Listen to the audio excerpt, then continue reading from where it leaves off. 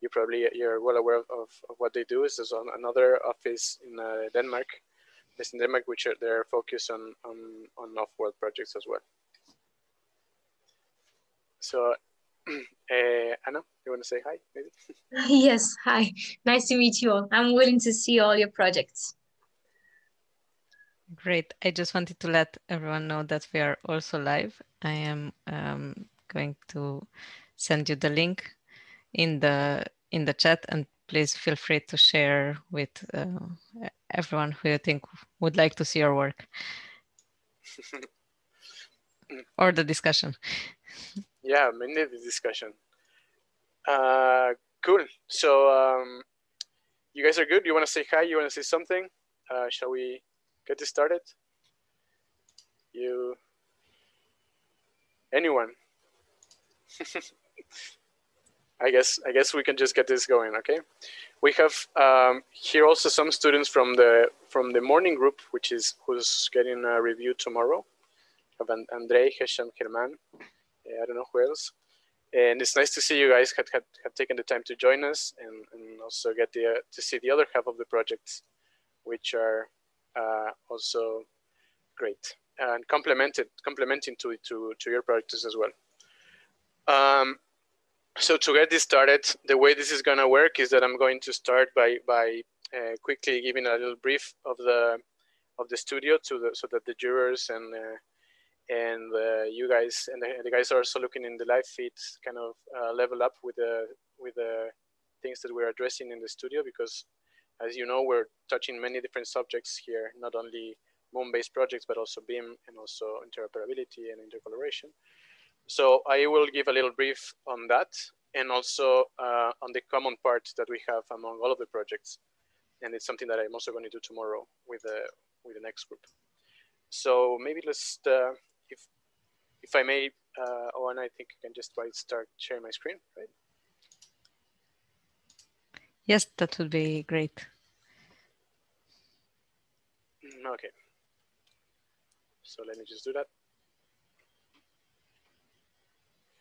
Um, just so, so you know, also, may, and we also have um, a couple couple of guys from the Hassell Hassell team joining us uh, this afternoon. They might be just jumping in at any time in the meeting, so if you see them around, don't uh, don't panic. um, I'm going to start my, sharing my screen now. Uh, here we are. Uh, you guys can see my screen now? Yep. Okay, uh, perfect. Um, is it is it visible in full mode or, also or, or not? Yes. Yes. Great. So once again, uh, welcome to the BIM and Smart, in Smart Construction Studio of the Masters in Advanced Computation for Architecture and Design. Uh, which is one of the masters that we uh, hold in IAAC in the Institute for Advanced Architecture of Catalonia in Barcelona. Um, the difference is that uh, MACAD, as we as, as, we like to call it, is an accredited online master uh, master program that aims to train a new generation of architects, engineers, and designers uh, with the skills that now they, uh, the AEC industry demands. Right. So I think it, it's um, mostly to say that we are our master runs online and uh, we have students from all, from all over the world and also faculties from all over the world that join us.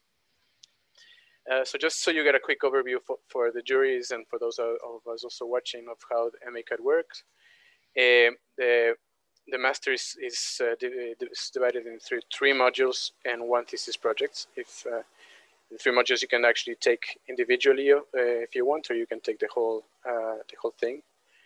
Um, the first module is based on uh, is uh, looking into advanced computation for for environment, environmental and structural design.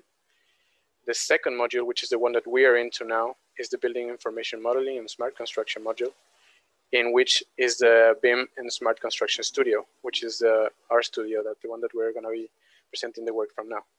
The next module is based on artificial intelligence, intelligence in, in architecture and actually starts in uh, April.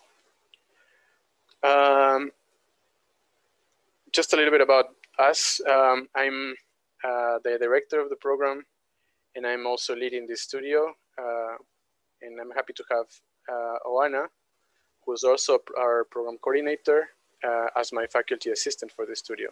So um, you, you, you, and I don't know if you want to say hi. Hi everyone. Uh, nice to have everyone here. I want to take the chance to also say that Jonathan um, Erwin from Hassell Studio is also with us right now. Uh, oh, really nice. Yeah.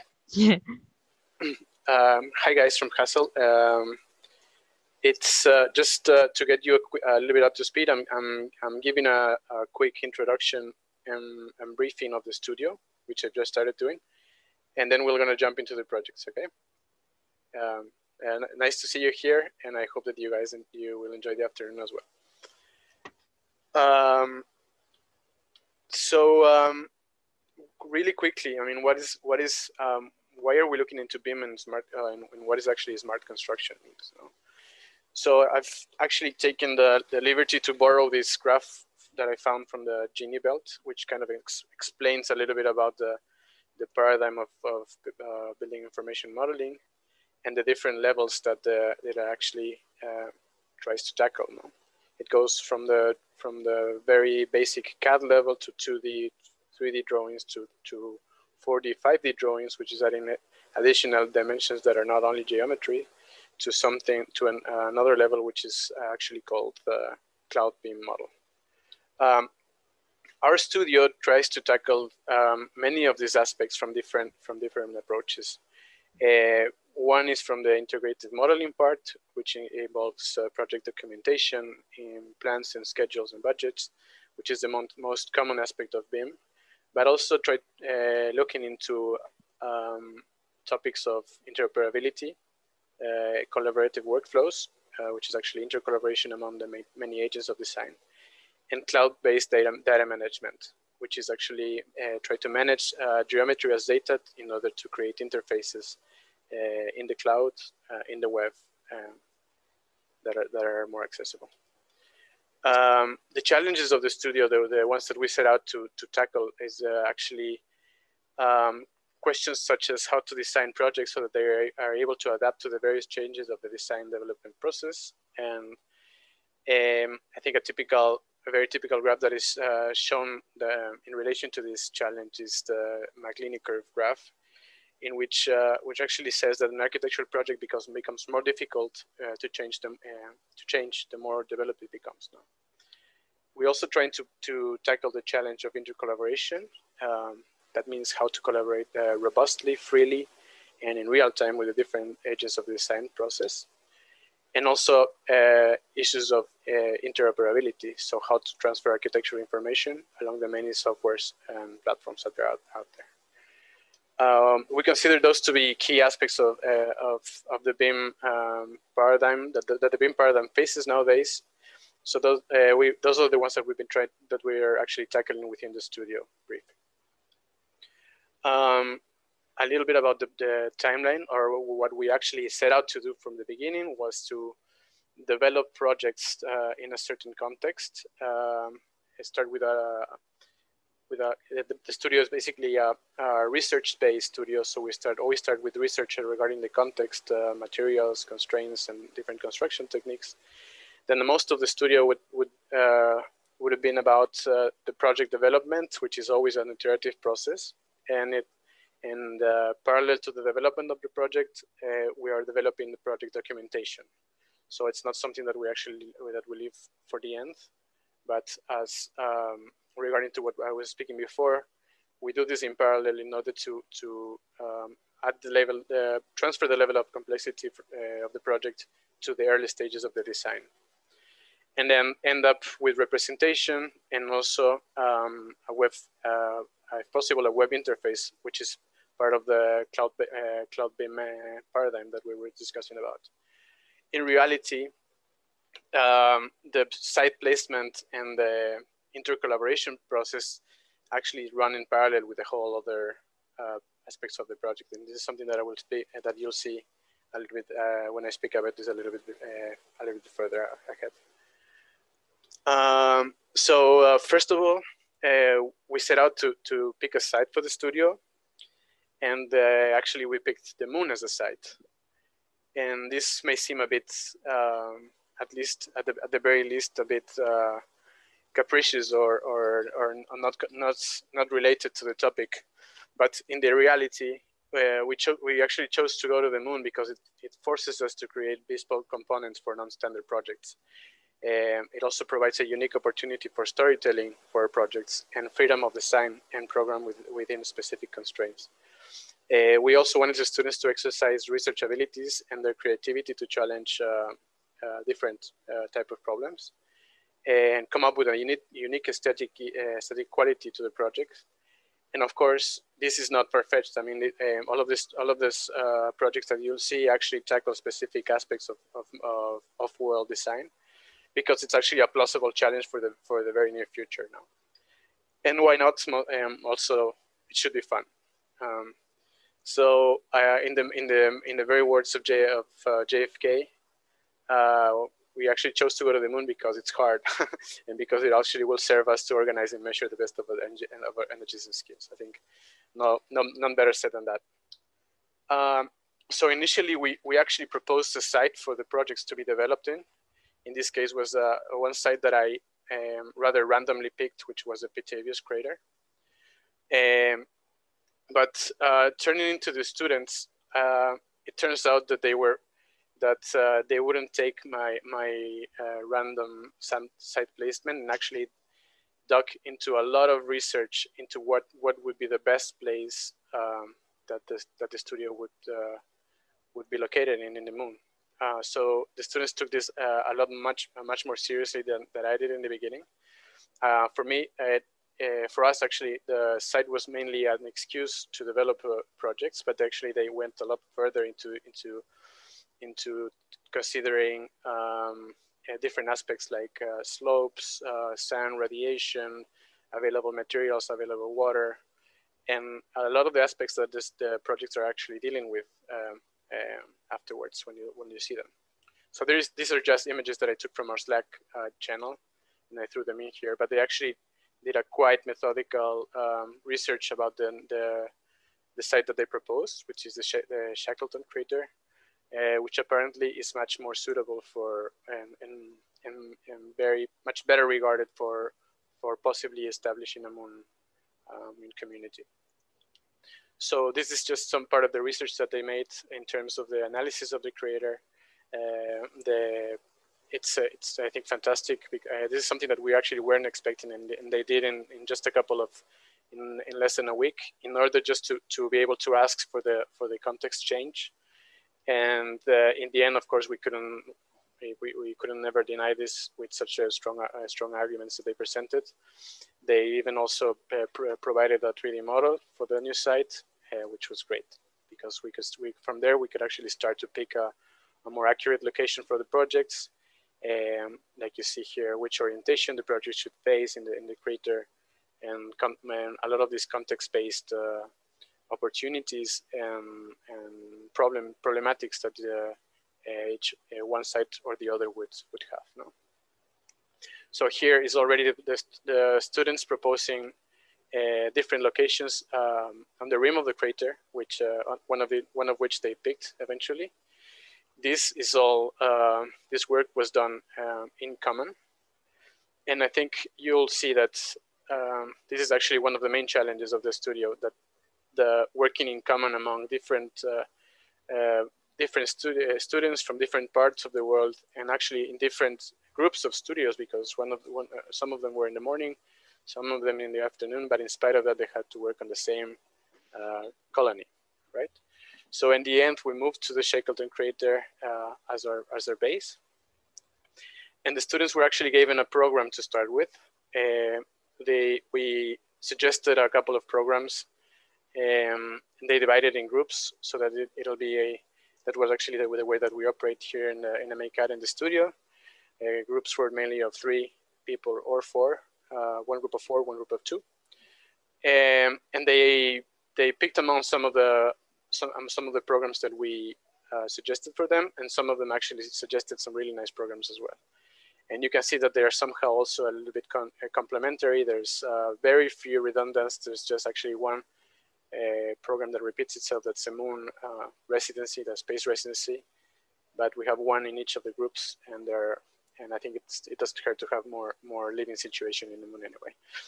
Um, now, in order to get the, the studio going, uh, the first chapter, the first um, the, the first uh, challenge that we set out to tackle was to how and how to actually collaborate robustly, freely, and in real time with the different agents of design of the design process. And in this case, the students were the agents of the design process, of course. and instead of us uh, providing a master plan or a specific uh, specific site for the for each of the projects, we instead gave them rules for settlement for each of the projects. And they would actually have to operate within these rules to find in common um, uh, a, a configure, uh, final configuration for the projects themselves. No, the projects would uh, they would have to determine a, a, radius of operation for the projects and establish a certain number of connections between the projects uh, that later would actually manifest in a sort of like a transportation system and uh, without exceeding a maximum distance between the projects uh, uh, so that the colony doesn't just spread uh, too far apart. The only, of course, the only forbidden rule was that actually there, there, would, there, there wouldn't be any centralization happening. That means that they wouldn't be able to meet and, and, just put the pieces together. They would have to actually work in the basis of inter collaboration by sharing geometry and finding an, a strategy to share the, uh, share the projects among themselves so that they can actually continue forward. So uh, it's fantastic to see, uh, to see how many attempts they did to make this happen. Initially, they tried to parameterize the projects and put them into Grasshopper. Of course, this was quite centralized and they would all have to have the same information. So they uh, next they tried to figure a way to share this information by um, and also um, sorry incorporating dynamic processes to to to make fulfill the rules in the site. Um, and actually, the most interest, interesting part, oops, um, sorry for this. The most interesting aspect of this was that they would have to find um, there we go they will also have to find a platform, uh, base platform for them to collaborate uh, uh, in which, which wouldn't be centralized, where they would actually be able to gather information and transfer the information between each of them separately in each of their countries, in each of their, uh, in each of their own uh, Rhino instances to say. So the first attempt here was, for example, to use a, a Google Sheet to so that uh, you, to read the geometries and the locations from Google Sheet so that each of the groups would coordinate their positions. Um, I don't know what the way this is actually repeating. They also there was also a lot of um, uh, meeting uh, amongst themselves and trying to figure out which would be the best uh, general disposition and re interrelationship in between the, the, projects in terms of program and in terms of the uh, kind of categorizing the programs and and this and that. And at the end, they came up with a really rather complex um, Excel sheet. I mean, this is just a one bit of the, of the Excel sheet where they would have um, defined the, the program, the connections of the, the, the, the, the project that they wish to connect with, their requirements, and eventually what uh, they turn out to Speckle uh, as, a, as a main tool. And they would actually list their, their streams here because um, part of the program, part of the module itself, one of the seminars fo uh, focuses specifically in, in inter, inter, inter collaboration, and we use Speckle to do this. Um, so we actually, once they started to be introduced to this tool, they they were they were able to share geometries amongst themselves quite rather easily, and starting with these uh, uh, kind of bubble graphs that uh, represent the area of the projects and each of the locations of the group, um, so then, from then forth, they actually would place themselves in the terrain, uh, try to establish connection among the projects. Um, and these connections would, would um, ideally, conceptually, would translate into a transportation network that would connect among the projects themselves and be and connect underground. Once the projects were more materialized, they, they also share this in, uh, through Speckle and uh, this is like the, this is the final configuration of the projects uh, with a with a with a so-called uh, transportation network that we define for them very conceptually uh, beneath them. No? So this is a view of the projects from beneath with a with a network, uh, which is rather conceptual, of course, uh, tying all of the projects together. And this is the final configuration where the projects ended up in the end. So here we have the 10 projects of the 10 different groups uh, placed in the context that they have actually decided for uh, intercollaborating, even in spite of them being in different groups, in different countries, and uh, in different uh, situations. Um, so this is my last slide, and I think I've already taken a lot of my, a lot of the time. Um, and I will now, I think, uh, immediately give food to our first, our first group, um, if you don't mind. Um, Anna, unless Anna, Adenit, or you guys uh, have a question regarding this, or can we just move to the first? Um, it's pretty clear to me, David. Thank you. Awesome. Um, okay, so introduction, and let's go for the next one for sure. Great, thanks. Um, so um, our first group is is uh, the groups are kind of uh, randomly shuffled. It's where they're not going by numbers. Um, I'll let you guys introduce yourselves and uh, good luck. You have 10 to 12 minutes to present.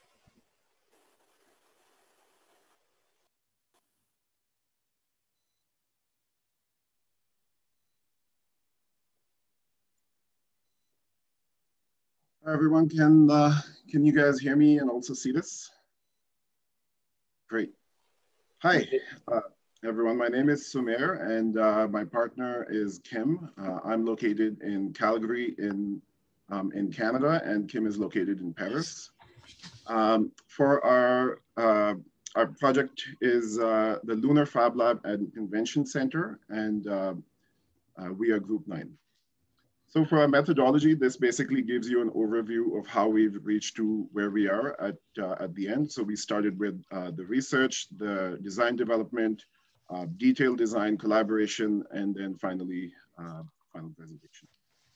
For our collaborative computational workflow, uh, within our team, we started with, uh, of course, any means necessary for, for research.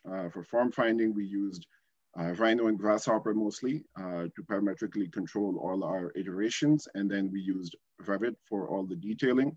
And for visualization, we're using Twinmotion, uh, Maya, and Photoshop. Uh, for our collaboration within our team and externally, we also used Speckle in addition to all of these other tools. So we had a stream going on between myself and Kim where instead of sending each other saved models or entire files, we were sharing pieces of models that we would send to each other. And this also contributed to the, uh, to the uh, larger group stream.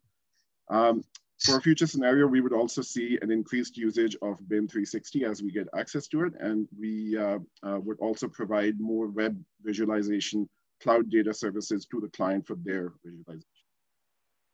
Our main project driver was uh, creating an ecosystem between the moon um, and, and the other space stations uh, including Titan and Mars.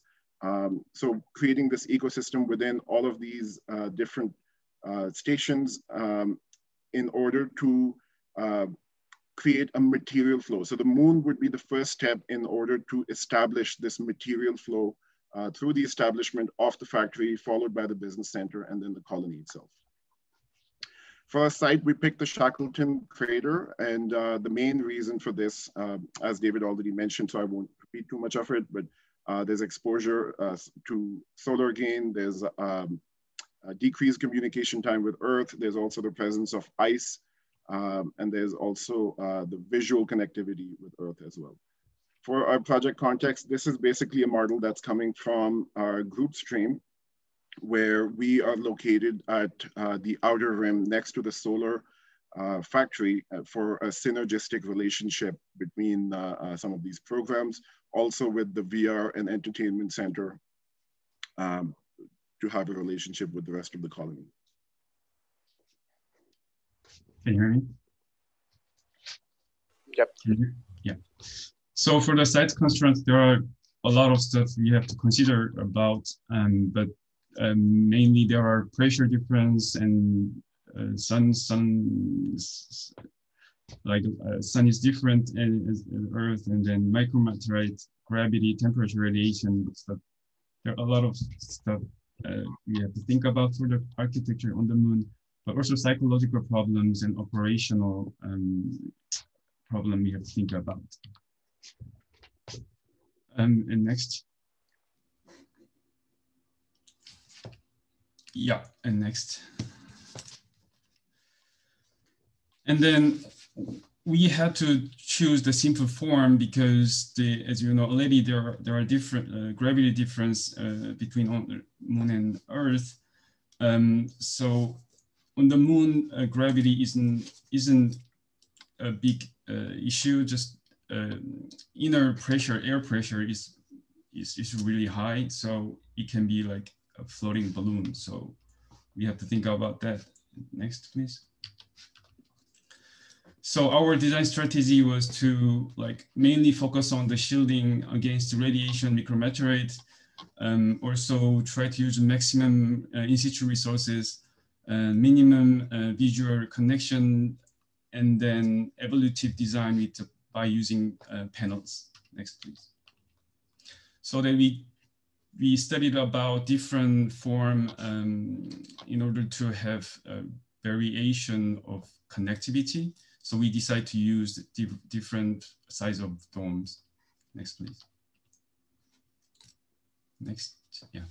Um, so our reference was uh, Mars Incubator. Um, uh, they used the panels and HI-SEA project, which is I'm, I'm going working on with their team and ESTEC from uh, ESA, uh, European Space Agency right now. Um, so our main focus was to use how to use the panels um, to make simply uh, an assembly on, in, in, on site.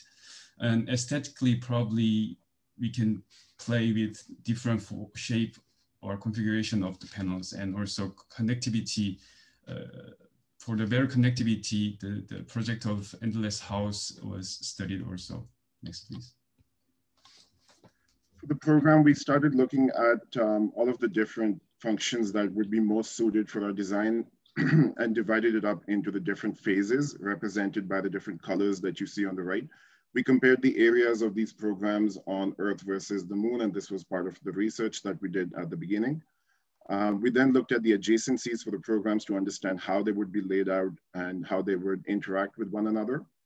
Um, at this point, we were also considering uh, the different mass studies as they would be related to these adjacencies and circulation in order to see uh, the most optimal form finding for our project and also taking cues from our precedents.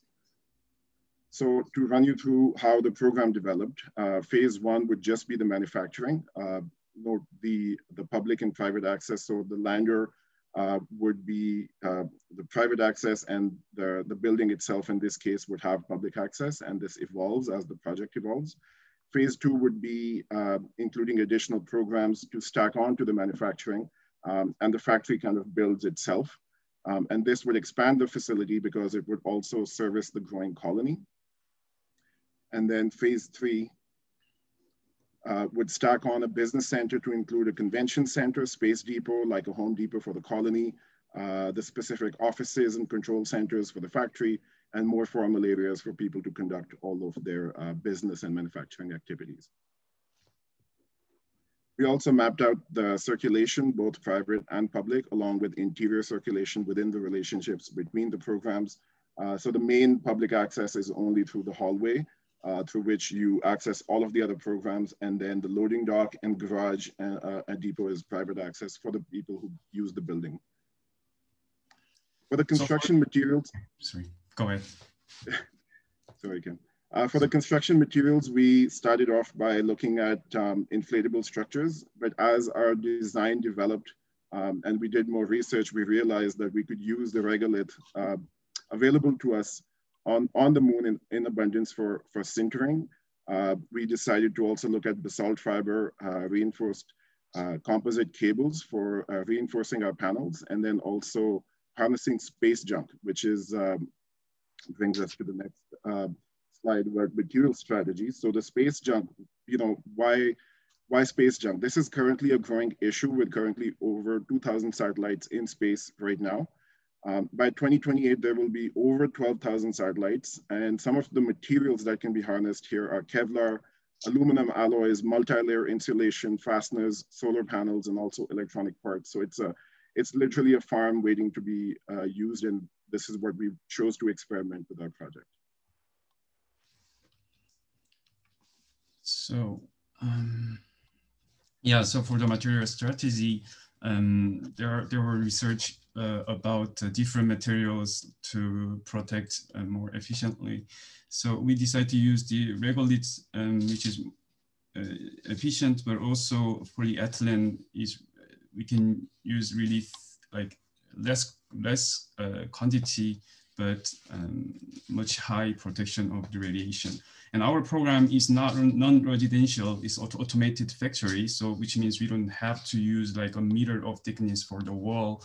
Um, if it's a habitat, it, it, should be, but our, our case is not. So like we, we can reduce the panel size. Next, please. Um, so between two uh, outside panels, we decided to use a fiber um, composite cables because fiber can successfully used in compression and bending active structure as well as in tension active structure. Basalt-based uh, materials are environmentally friendly um, against uh, lunar regolith, which is harmful for human. And it may use a 75 kilowatt thermal solar concentrator. And tension test on a 25 micrometer fiber indicated approximate strength of 5,000 kilogram um, centimeter, square centimeter, which is equal to 70,000 PSI.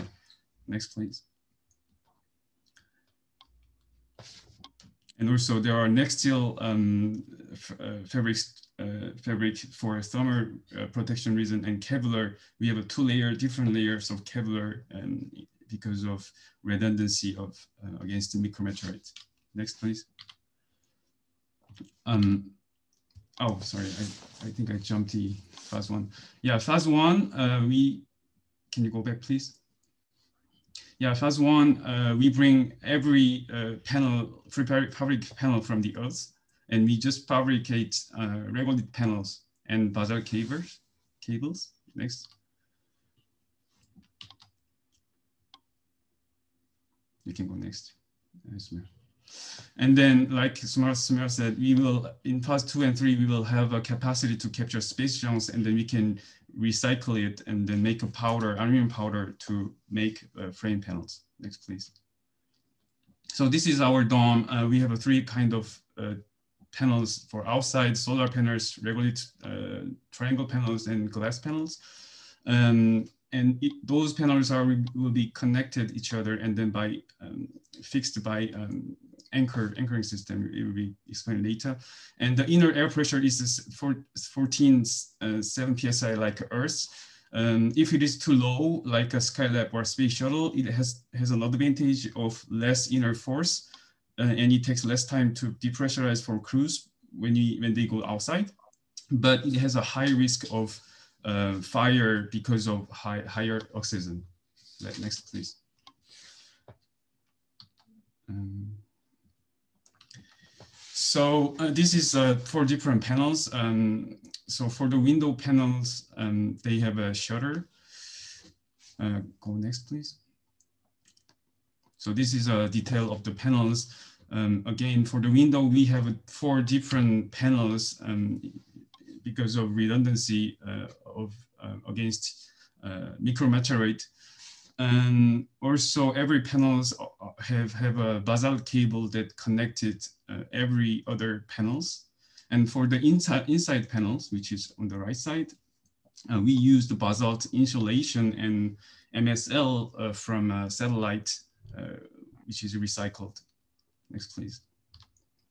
So this is robotic system for constructions. Um, it's like uh, we use a little bit of spider crane uh, system from the earth, which is really small and perfect for uh, dis um, for displacement. And then and the and and and side there has a robot arm. And um, there's other um, robots are used for the construction. Next, please.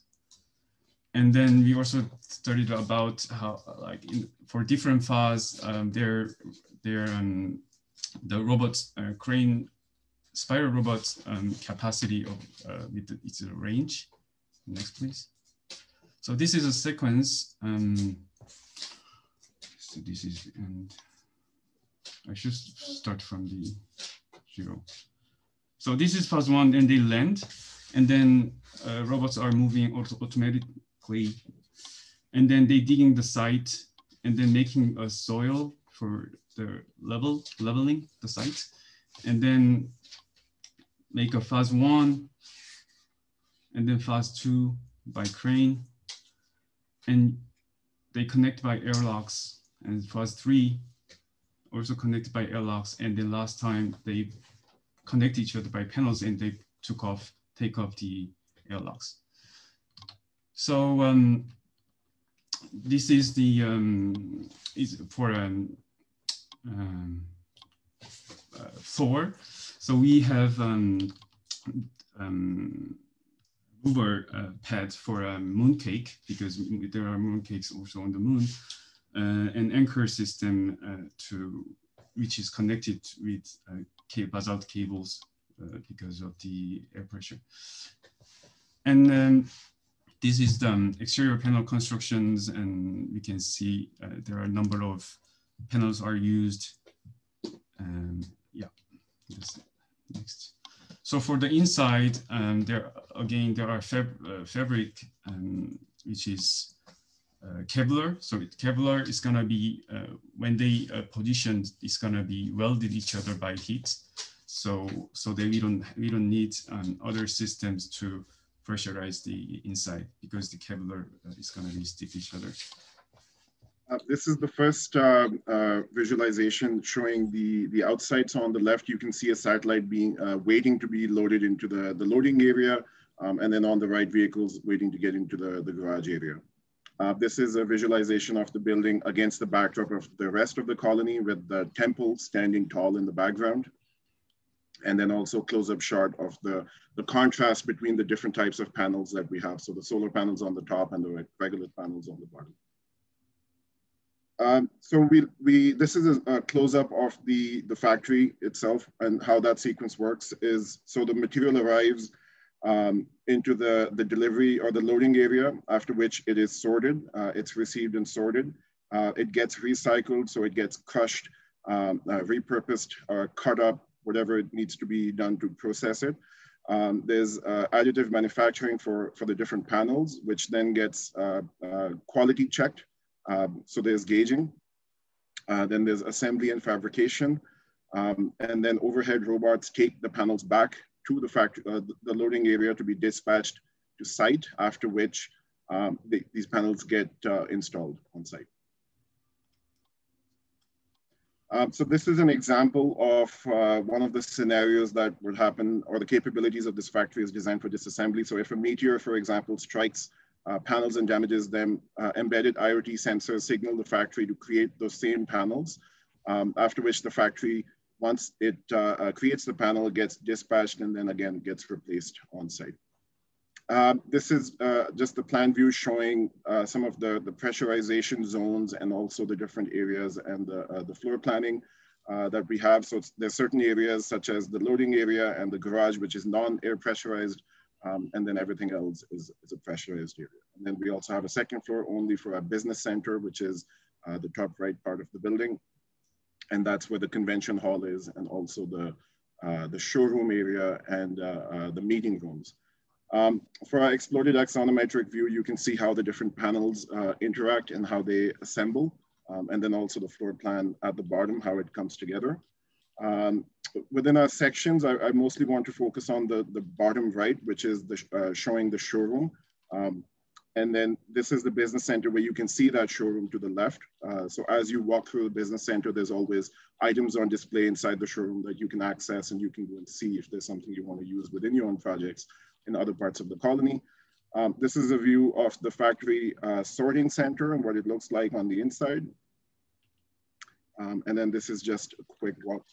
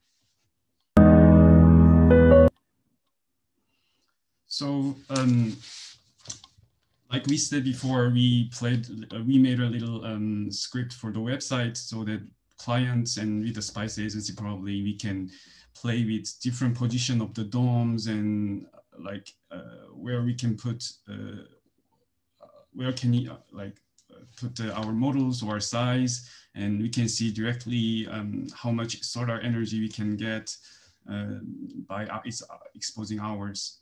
Yeah, that's it. And sorry. Thank you. For the for the conclusion, um, you will see that a, a, lot of group other groups has a lot of really nice design. Um, but for us, building on, on the moon isn't easy and is, is, it is possible. So the, our group decided to stay on very realistic view with its constructability and it, by using in situ resources. Um, like uh, like I said, um, I, I, I'm, I'm also space architect um, since three, five years ago. Um, so I, I, my recent project is also connected to the panels. So I think it's, it is con continuing um, for, for the future project also. Thank you. Great, thank, thank you, everyone. Amazing, Kim and, and Sumer, thanks a lot. I mean, I think there's really no need to, to, to say this because the project actually says that by itself. All, all of the hard uh, work and thought that you put to make this project uh, realistic, keep it on the realistic side, I think it definitely shows. Um, I'll, I'd like to hear from the from our jurors to see what they have to say about this. Um, I don't know who wants to start. I just wanted to add first that uh, the jurors also received a link to uh, the PDF drawings in the chat. So if you want to have a, a more in-depth look at the drawings, uh, you can find it in the chat. Uh, who, who wants to start? Uh, Anna, maybe you want to start? Um, okay, first of all, thank you so much. Um, I think you did a pretty, pretty nice investigation and research about the site and about everything on it. And I found really interesting uh, the construction way. So um, how long do you plan this, this building to last on the moon? For the construction? I mean, is it going to be just temporary for some months or it's no, it's a permanent. That, that was our question, yeah, of the studio. Like we very first time we wanted to have a like temporary, but in the end we decide to every group has has a permanent yeah habitat.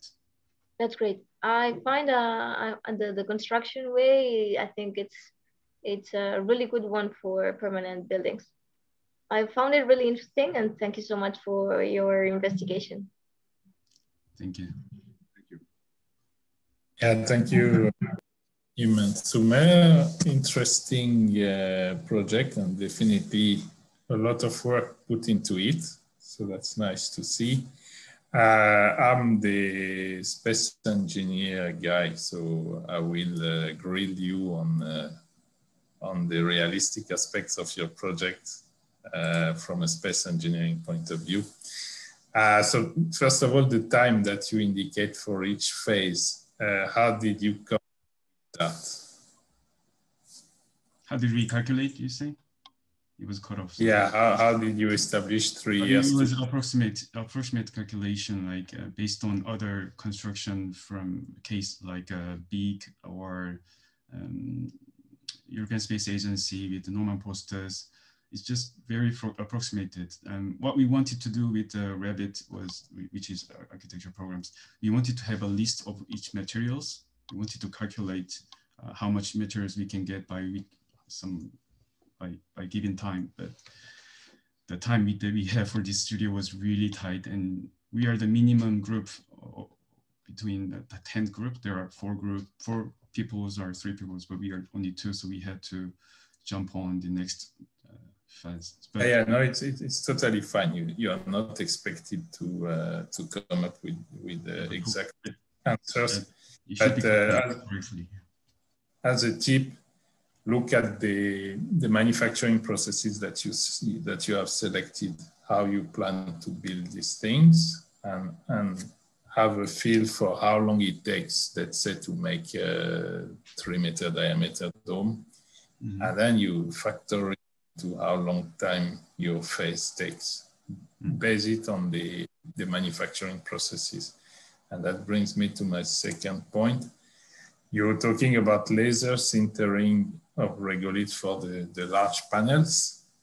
Um, do you know how fast or slow laser sintering is? It is really slow. It is really, really slow. The reason yeah. is yeah. that uh, you are you are sintering a tiny spot at a mm -hmm. time. Yeah. So laser sintering is very good for uh, to make very accurate uh, objects, uh, high resolution, high accuracy. But if you are doing really big things, you should look into other sintering method like solar or microwave. Yeah, the another another thing that we um, considered was uh, mixing with uh, reinforced by polyethylene, um, sorry, polymer, mixing with the polymers and uh, regolith thin powder, and then polymer can help allows to attach each other like like, like a brick. Um, it can probably like increase the speed of production probably instead of just yeah definitely. The, the metals with the binders are faster. The only problem is you need to get the binder from somewhere. Uh, the, the easiest is from earth. And if you're talking big construction you need a lot of binder. So yeah. uh, it's a trade-off. Uh, then my next point was about the yeah you have a vacuum gripper at the end of your your manufacturing arm yeah, I no, it's, it's very, it's the, it's, we are not engineers, but um, uh, um, actually in my, it happens in my, sorry, I probably, I will let you to finish your question and then I'll answer it. Yeah, yeah, no, I mean, how, how do you, how do you make vacuum works? You mean suction, it's sucking? Is it mm. sucking? Whatever? Yeah, it's sucking the air. Yeah. Okay, the problem is you have no air on the moon. Yeah, that's a very good point. Um, yeah, I think the, the idea was that we would have a, a small pump, uh, you know, attached to the crane itself that would allow uh, sort of that circulated uh, sucking mechanism. And this is also a precedent we took from uh, one of one of one of our precedent projects actually is where uh, the idea is to to hold it, you know, with the same gripper and welded with the same mechanism at the same time. Or no, it's, a, it's a very good idea to have a gripper where you have several functions at the end. But uh, yeah, find another way for. Uh, do you for, do you have uh, some tips for that? Because like gripping gripping with the arm, like finger is really unstable, right? It's, it's, it can be fall, falling down. So that's why we came up with uh, suction. But I totally agree what you're saying. So if you have some tips for other methods to grip correctly? Yeah, now we, we, we have been looking at uh, at biomimetic solutions like the gecko, for example, the, the gecko skin uh, with, with tiny, tiny hair. Uh, you use the what we call the van der Waals forces. So you could look into things like that. And then my that... last point was about the space junk. Uh, yeah, Okay. Yeah, my, my last point was about the space junk. I think it's a brilliant idea to use space debris for uh, getting um, construction material. Uh, the problem is that if you show your slide on the, the satellite with all the different materials, different. Uh, you, you have combination of materials. For example, if you take a solar array, you have silicon panels, you have the aluminum um, uh, electrical uh, con conductors, and you have things like tiny gold uh, containing elements, etc. So material separation is really, really hard on a, on a satellite. And you will spend probably more time and effort separating the materials uh, than constructing. Uh, so either you look into solutions like you crush everything and you see what you can do with the mix, uh, or some people are looking at uh, what we call launcher upper stages. So it's the, the, the, the top part of a rocket, which ends up for many rockets in, in, in, in orbit, and they are made mostly of aluminum. So you don't have a lot of different materials, uh, contrary to a satellite. So space junks, yes, you need to select which ones are easy to, to, to where it's easy to retrieve the material. So that was my last point, but very good work. Thank you. Thank you so much. Very helpful. Mm, thank you, uh, Benit. I think uh, with this group, you can uh, you can afford to kind of grill them because they really kind of dare actually try to expose themselves in a way in, in a very realistic uh, way. Maybe most uh, as uh, kim was himself was saying maybe most of the projects are not so much focusing on the on the detailed part of engineering and and and and, and um, space and lunar materials but more on the other aspects as well. But i think uh, it's super useful um, Jonathan, do you want to also comment? Yeah, I'm just gonna commend you guys. There's lots of and plenty of work. Uh, I've been there before, five years ago at IAAC. I know exactly the pain you guys go through, and it's a commendable amount of work. So um, just mirroring some of um, Benit's points, I think what's great is that uh, design for this assembly component that you guys have created, which is about using a modular panel to be recreated and repurposed later on if the structure needs to change. That's something we're currently exploring as well. Um, and the fact that there's multiple typologies within that same panel. So whether it's a window, a solar cell, interior, or protection. Um, so that was uh, one point I wanted to point out that you guys did very well the other one around protection for radiation is um, I know that this is not a habitable structure, and maybe the people occupying the space might not use the space uh, completely all the time. So you might have you might need less protection. But um, I'm wondering if you had any research based on the ionizing effects of radiation on your equipment. So during fabrication processes, whether that will affect uh, lifespans of your equipment underneath um, but that might be beyond your scope. Probably. You you guys thought about that, Kim and Sumer? Um, I mean, the thought definitely crossed our minds, and you know, the idea or the assumption that we made at that point was using the regolith panels on the outside uh, would provide adequate protection. Where most of this equipment is, you know, is made using um, materials which is meant to be in space for a long time. So you know, with those with those assumptions, we proceeded with the with the project. So um, yes, I mean, I, I, think next within next steps, that would be definitely research that we would pursue.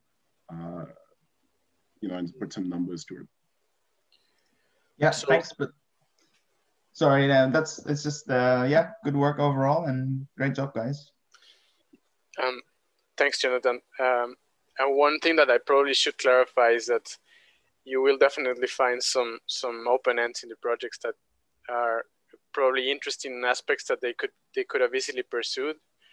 But in the of course in the interest of of keeping within the scope of the studio we have to in some of them uh, make make some assumptions in some in some parts and all, some of them just leave them behind and focus on getting the projects through all the way to the end no because we're talking about the 10 uh, 10 week uh, program.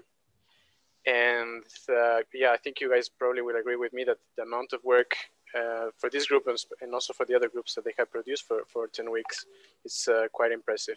Um, um, thanks, uh, thanks guys, Kim and, Kim and Sumer, great job. Um, um, I also wanted to add, just in case the question will come up again with the other projects, um, that probably wasn't so clear in the in uh, intro presentation, but the the brief was to develop a colony for uh, 100 inhabitants um, initially, but a permanent colony, not temporary shelters. Mm, that's true. That's true. Something probably I should mention tomorrow. I failed to mention today, but thanks for the clarification, Anna. Uh, great. Um, thank you, guys. Um, can uh, you guys let the screen for the next group. Thank you. Just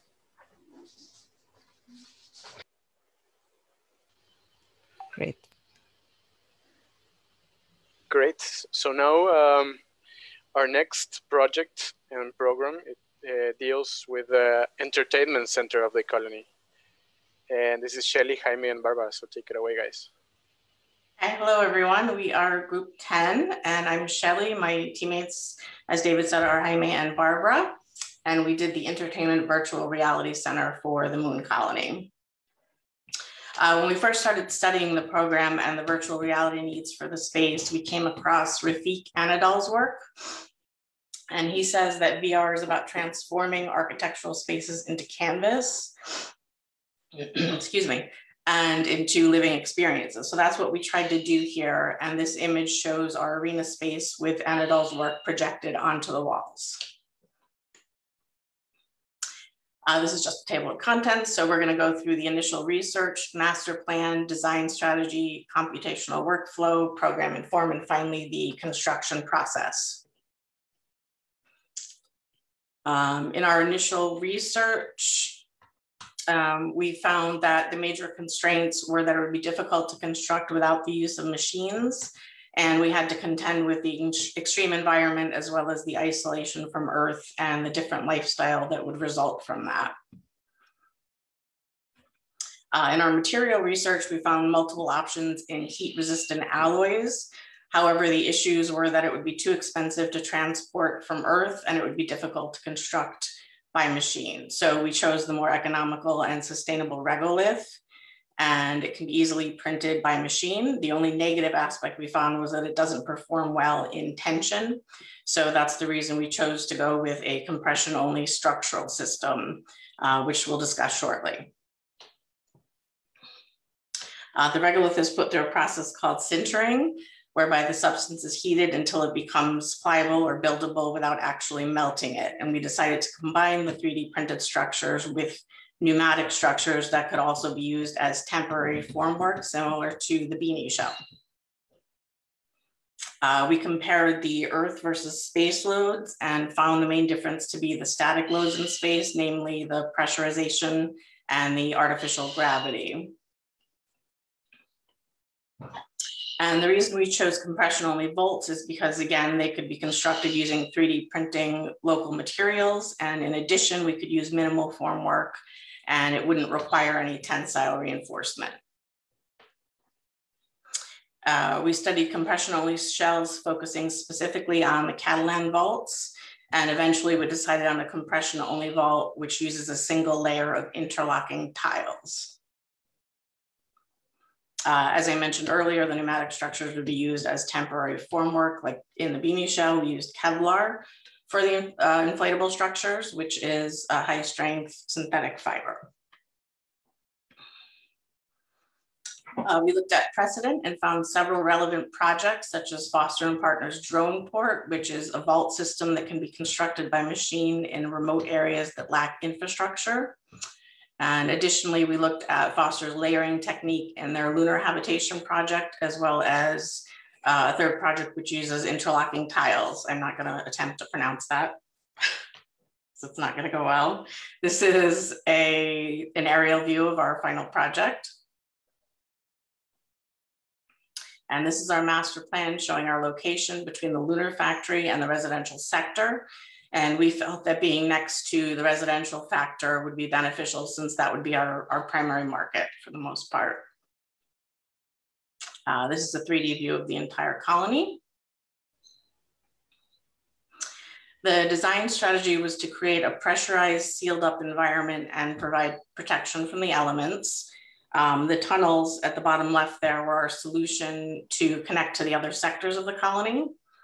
And finally, we considered uh, or we decided to use a closed, dark environment so that you would get the full effect of the virtual reality experience. Uh, and this is just showing that we created three separate vaults to house the different areas. And we felt that since we weren't entirely sure about our location initially, that the three vaults would allow us to adapt to changes in elevation at different sites.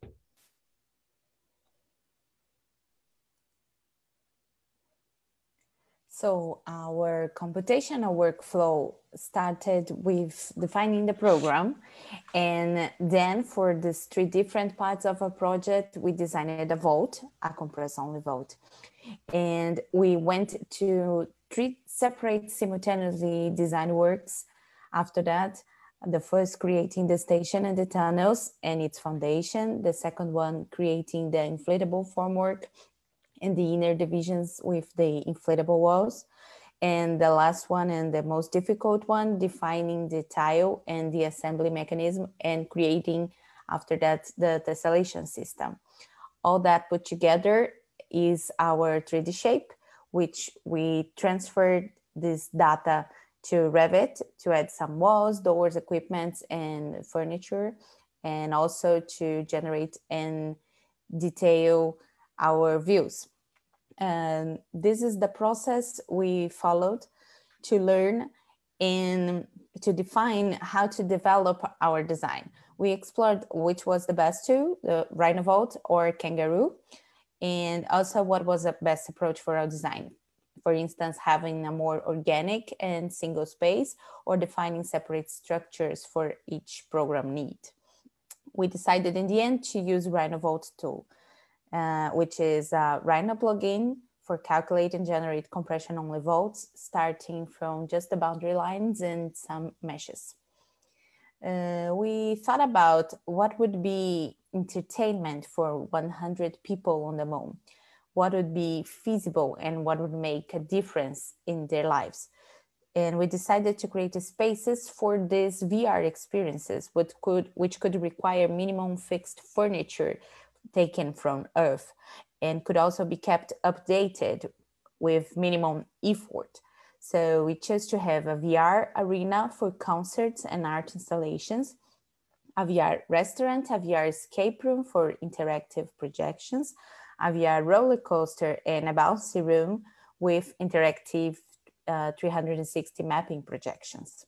Also, we dedicated one whole vault to a more introspective experience connecting with Earth through individual and two people VR pods that are disposed besides this interactive Earth hologram.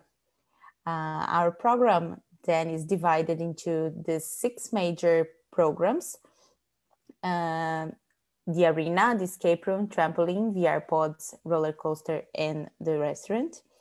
They are organized in three separate structures for optimizing the air supply uh, for example, one of one of this could be deflated while the two others could be inflated and so on. Uh, all three are on top of the ground connected by the station and the tunnels that are underground. Each one of the structures is accommodated under a compression only vault. So uh, this is the bottom floor of our station where the villagers would arrive from Upstairs to the main station floor, you find the toilets, more technical rooms, the seal doors and tunnels that lead to each one of the three vaults. On the ground, top of the screen, we have this open big space that is the arena. On the bottom right, the VR pods, and the bottom left, the mixed use vault divided by inflatable walls. Uh, these sections in the slide show a little bit better the flow from the station to through the tunnels into one of the vaults. These are the structures we have in our project and we're going to explain into more details in the sequence, the tessellation and the inflatable, the last two ones.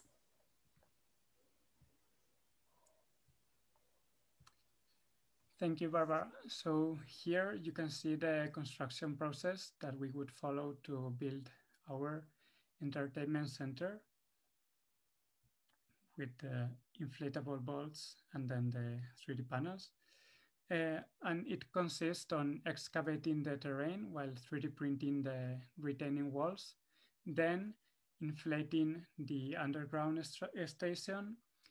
After, we would 3D print the vaults foundation and build the floor on the top of it.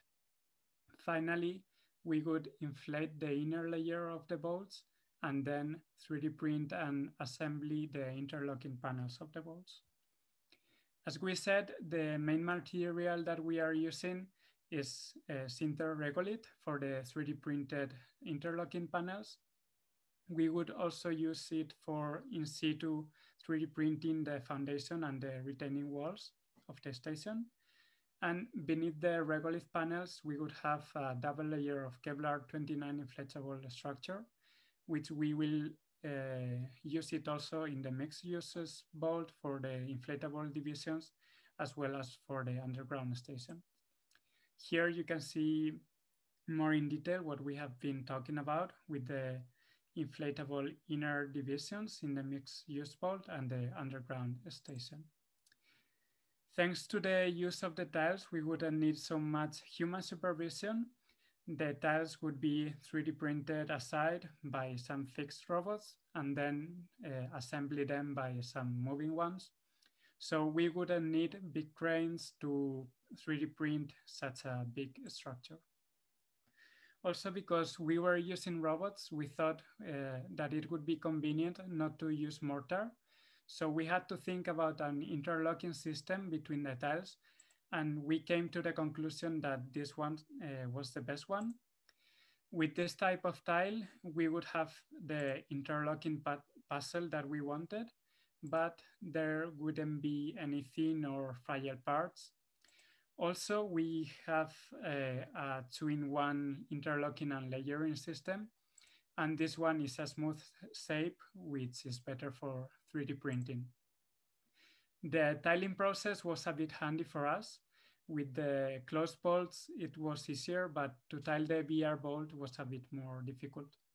After we got the compression only mesh from Rhinovault, we had to quad remesh it to smoothen it. Then considering the singularities that we got uh, and the openings, we split the vault and left the coarse lines to have four divided uh, un untrimmed surfaces, which we could then subdivide and apply the tiles on it as we wanted. So this is a quick view of how they could be assembled.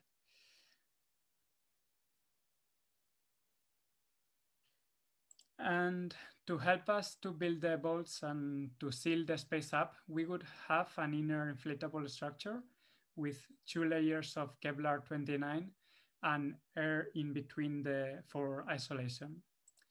As we said, we would also have some inflatable inner divisions in the mixed uses vault, which could change its size to adjust them to the programmatic needs based on the predefined shape that we design, designed for the inflatable. So for example, during the day, we would have this scenario, which would be different to the one uh, during the night with a bigger restaurant, for example, or to the one when parties are happening. And this is how our whole entertainment center would look like from the outside with the three separated vaults and the underground station. And here you can travel around our building.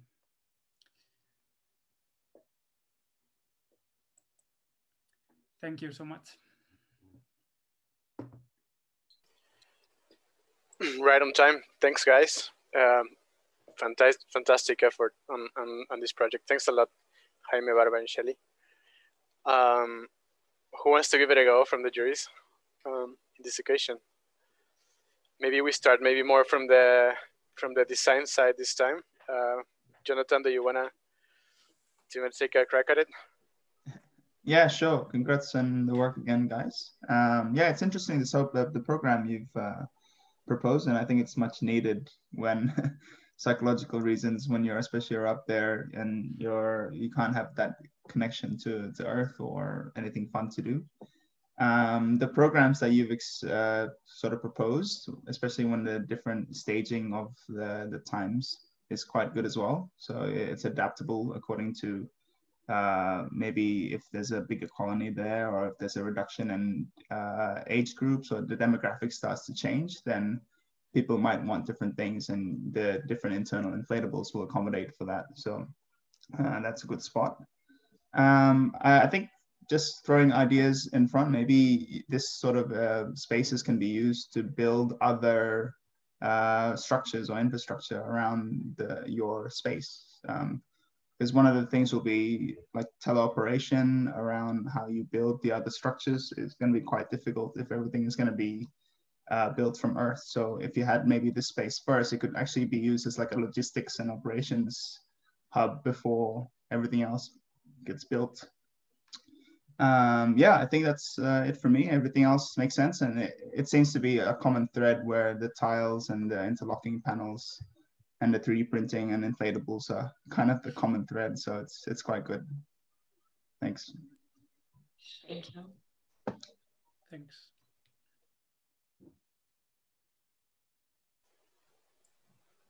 Okay, shall I go next, David?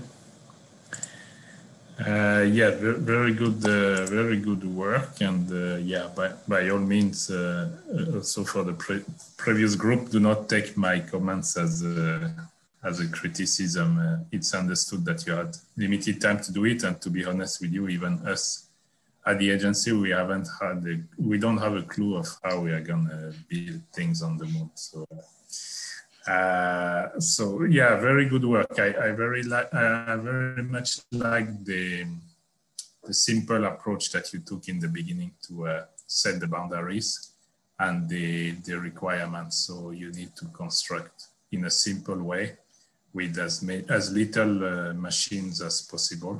Uh, avoid cranes and things like that. So, so I think it's very positive to start thinking in that way. Um, yeah, to start with the negative, the tunnel for the communication, it's, uh, it's good and it's uh, very good for radiation protection. But excavating tunnels on the moon is really, really hard. So uh, we, we have this debate on how do we protect the crew from radiation? Do we put them on the ground or do we build protective sheds on the surface? So um, there are basically two starts of solutions for that. The first one is to use the tunnels which already exist, what we call the lava tubes. Uh, these are tubes dug by previous eruptions, uh, which are underground, and you can use them for free, they are there. Uh, so you might think about locating those and locating your habitat there. The second option is to build tunnels on the surface. So you you 3D print vaults, for example, and use that as a tunnels for circulation. But excavation should really excavation of tunnels should really be the last resort because uh, when you dig a few, get really really hard, and you don't have the help of gravity to help your your diggers. Uh, so that's about the tunnels. Uh, yeah, the interlocking tiles is very good to avoid mortar. Um, and generally speaking, if you can think about solutions which minimize power as much as possible. Uh, power on the moon is a luxury.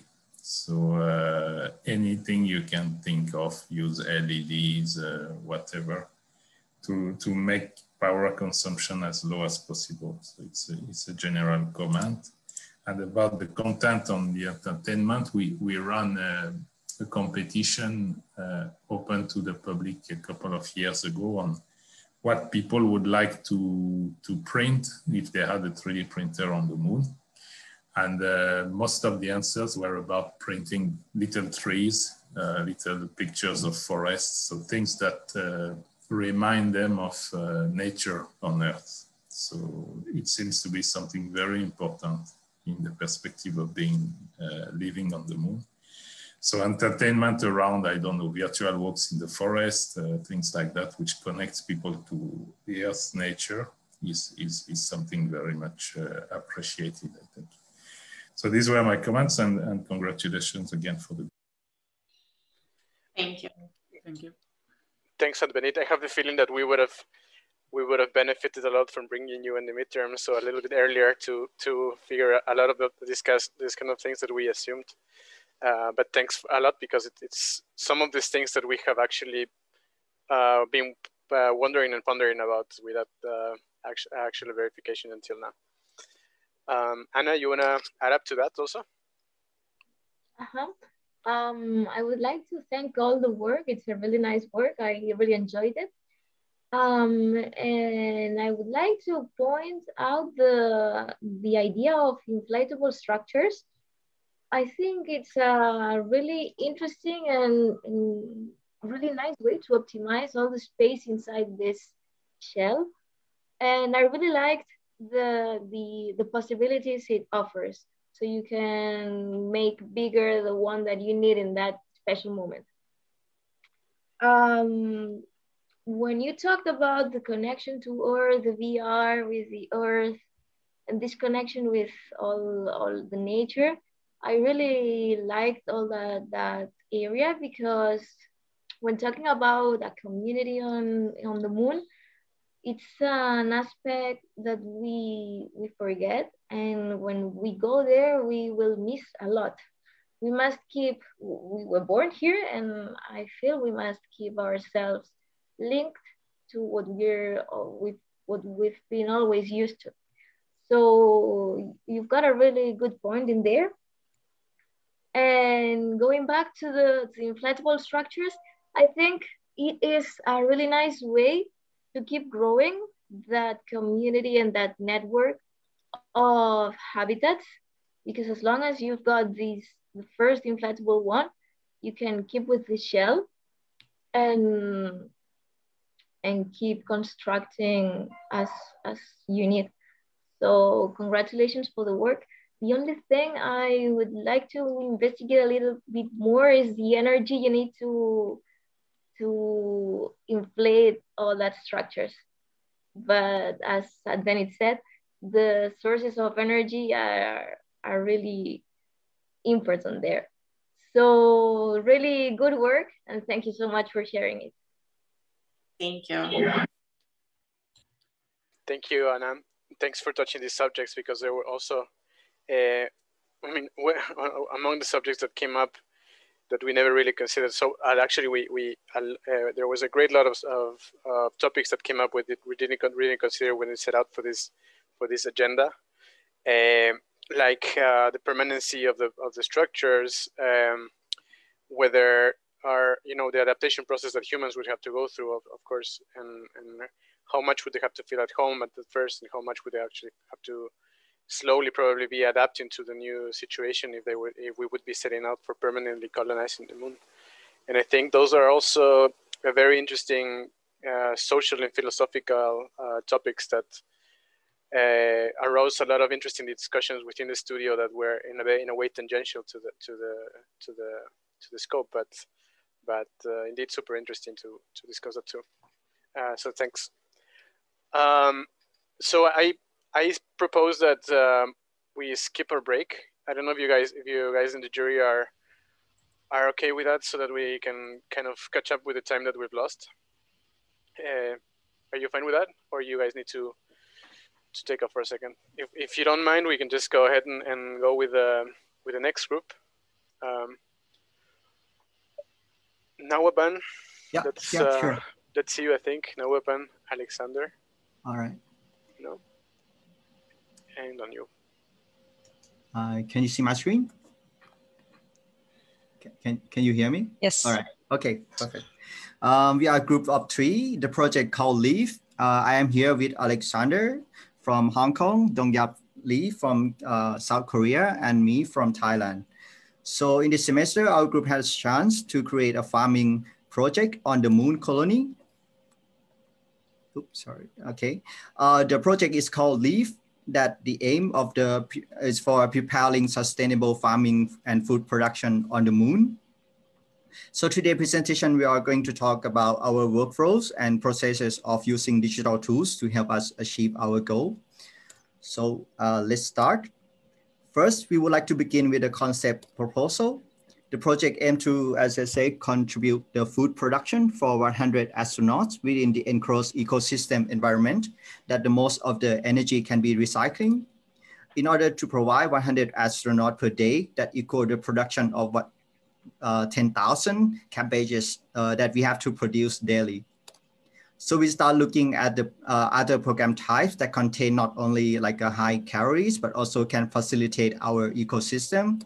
And we come up with this program, including vegetable, fungi, storage, uh, cellular agriculture, uh, insect fish, and, and the support uh, programs that we can subdivide it into the smaller room area division. And I will let Alex explain about this uh, program arrangement. So we, we follow the whole colony and landed in a Shackleton uh, crater. And because uh, we think there we will find uh, one of the most important resource for us, which is water. And in the negotiation with our group, we choose to have direct connection with the residents, the botanic gardens, and the research center, because we think they will provide us with the um, most important nutrients and raw material for our our farm. And uh, we go into the our site and we find out that actually it's a very steep terrain across a 80 meter diameter. We have a 40 meter drop um, across the diameter. And our first um, attempt is to put our program uh, on our site boundary and pack them into the site boundary and place them on the terrain and we decided to go with a, a modular approach as hexagonal modules and selected those uh, program that um, does not need that much sunlight or direct access to the outside world and put them underground. And we go back and uh, subdivide our modules according to our program. And we come up with um, uh, our initial uh, organization and start thinking about how we can connect to the other part of the colonies and uh, among the modules itself. But uh, before we go into the project documentation, I'll pass it on to Dongyap to talk about the construction proposal. Let me explain how our construction come, come up from. So 1972, the astronaut collected the sample regolith from the moon in this case, the scientists can, can extract the possibility of creating construction materials, powerful oxygen and essential element locally on the moon. So based on the research, we found there are a lot of materials we can use from moon and few of them from earth. So we divide like, like a, this kind of a thing. So here are our summarized of materials that we will use uh, in our project. So what will be our strategy? So we have selected four case study from our humankind architecture and construction, including the ETFE for inflated membrane referenced from Eden project and Igloo, the traditional building construction that created by ice block and the structure like a dome, and 3D printing on inflated structure as ITKE Pavilion 2014, and the systematized the module, modules inspired from the Muskarunas architecture. Yeah. And our design will consist of three layers, including outer shell for protecting the from the space radiation, and inner shell for the pressurizing and keeping temperature, and uh, the last one is the underground space for farm production. Each shell also have the, the layers We also consist of different substructure and uh, different fabrication process as well. That we have listed out uh, the, the possibility of using swarm robotics construction in our project. So in terms of construction, material shielding, speed, radiation, pressure, pressure, and thermal condition, we just considering this kind of a thing. So here's our concept of a construction process, starting from carving the, the, the designated land, and then we will get the material from, from the, the regolith that will be used for 3D printing overall.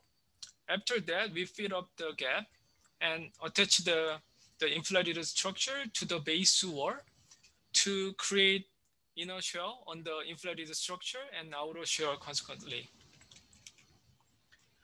Here is our story timeline starting from the laying out our seven major and the other minor programs. So first is we cut the rock to create the underground space and the base wall.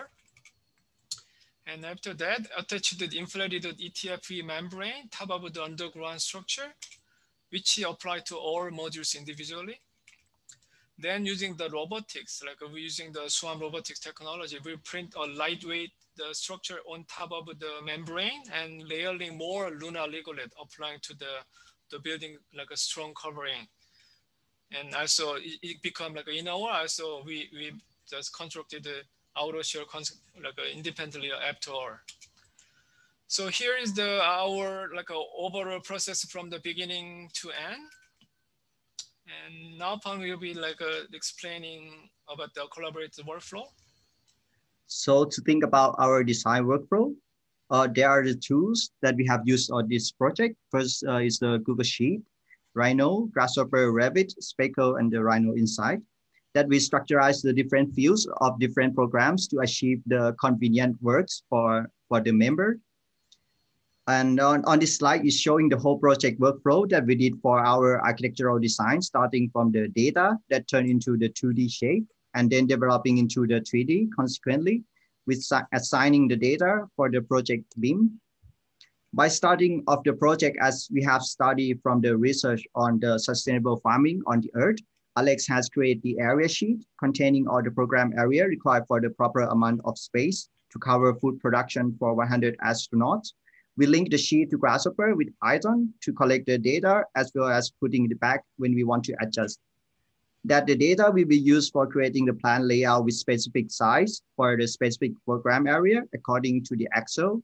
Then we collaborate with our studio terrain by Speckle to locate our project uh, next to the neighbor on the terrain before developing the Grasshopper workflow and transfer the, uh, to Revit using the Rhino Inside and Speckle. In this chapter, we will explain about our individual working with the, the uh, design tools for computational design Alex will talk about the interior part, Dong Yap for inner shell, and me for the outer shell.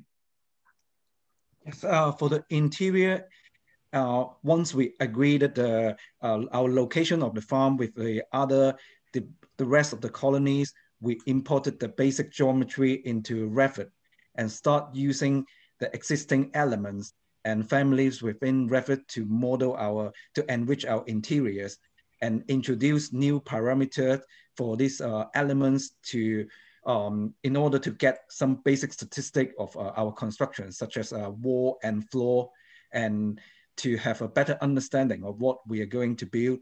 And we'll pass and pass on to Dong Yap to talk about the next element, the interior, uh, the inner shell.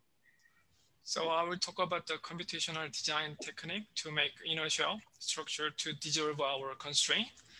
So inner shell is based on the inflated structure. Uh, also, our site is not horizontal but sloped. So we need a special form to dissolve this issue.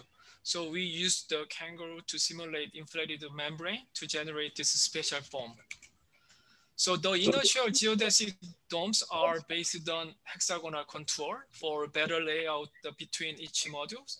Also uh, depends on each individual program. The size and density of tessellations are different. So we use the computation technique for these conditions. Uh, so each program require a minimum value for sun exposure because of, we have to grow the, the plants and the animals.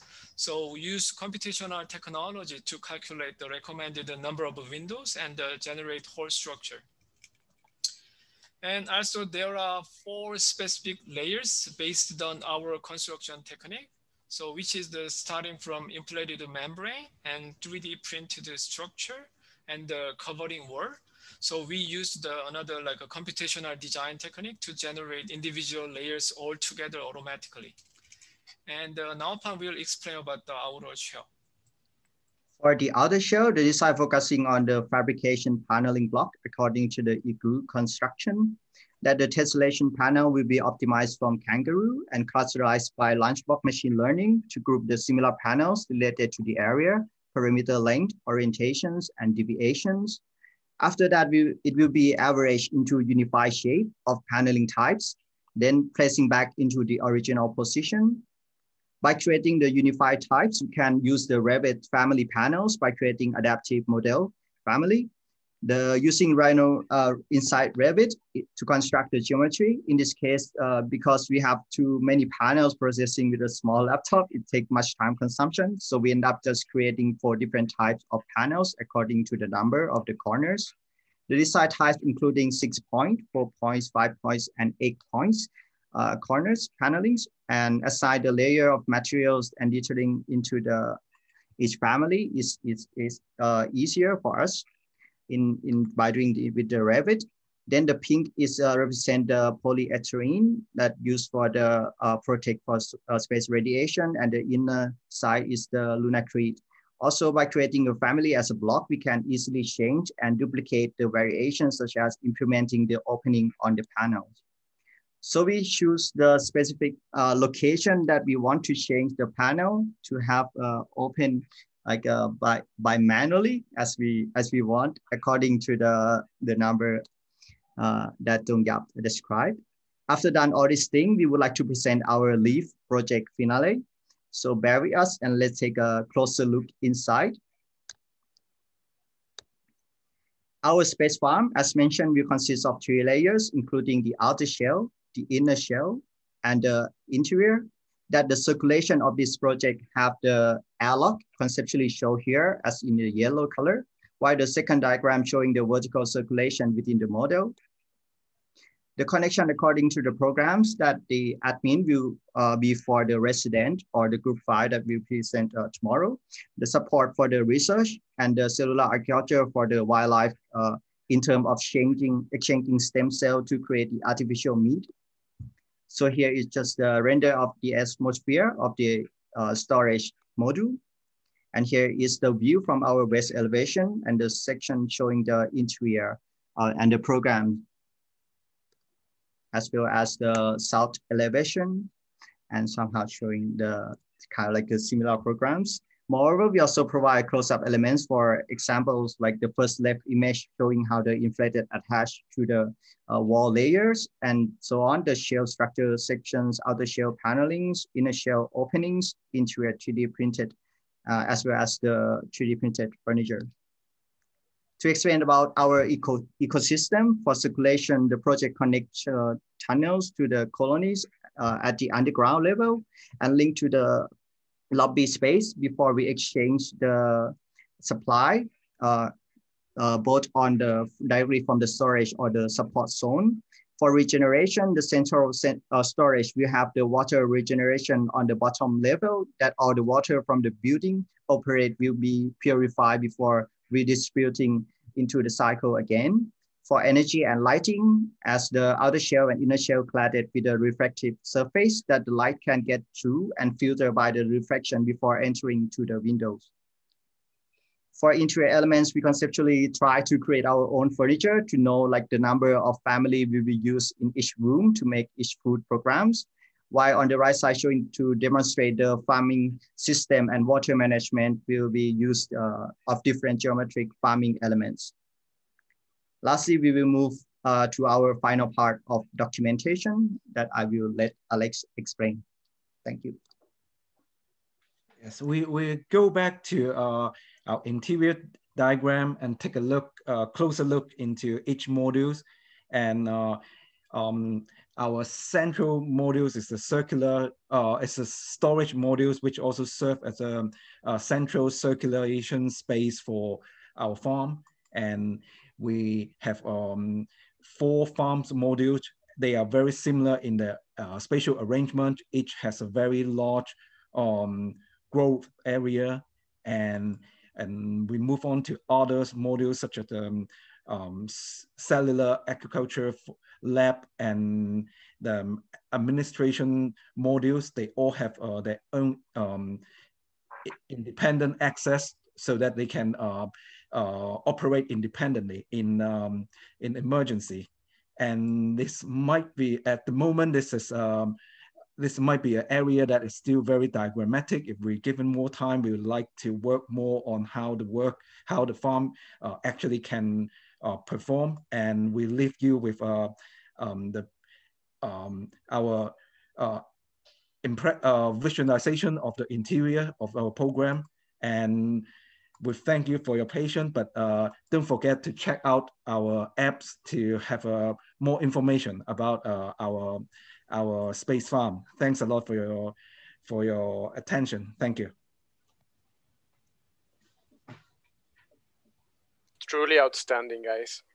I can um, some some of the maybe like uh, to to adjust. In this case, we create the app that we can like uh, to have a turn off and turn on our modular system and also provide a coordinate that can be moved on the, the terrain. So here uh, we can also like um, create the, the interior program. In this case, we use the Grasshopper script that we did for our collaborative workflow. So like uh, this is the basically the initial state that we design of our project. Yeah, thank you. Um, guys, perhaps you want to, if you want to share this, maybe you want to paste this in the in chat so that the ah, juries can. Right. Be good if you paste the the yeah. link. Yes. Um, because it's it's it's definitely this also took you a lot of work. It com- complements from the other seminar, which are not ni- quite nicely tied to this one, and I think that the the juries will and the panels will have a lot of uh, fun time to play with your configurator of the Leaf project. Um, I'm honestly impressed because I, I don't know if, if you've managed to to develop like uh, since since two weeks that we met uh, another whole part of the project which was was pleasantly unexpected to see in such a level of detail and so uh, thank a lot, thanks a lot guys for all the effort. Um, I'm just gonna leave more for the for the juries to say I guess I don't know who wants to start. Uh, yeah, I'll start, I'll start this time. Uh, yeah, no, very good, uh, very good work. And another aspect of uh, what would be needed to, to live uh, permanently on the moon, which is uh, crop cultivation. yeah, the same remark about the building part of your habitat underground. it's a design choice. It has difficulties, so you just need to be aware of that. Uh, I was not uh, completely clear about the, so you have a, a, a layers of uh, polyethylene and lunacrete. How do you attach them together?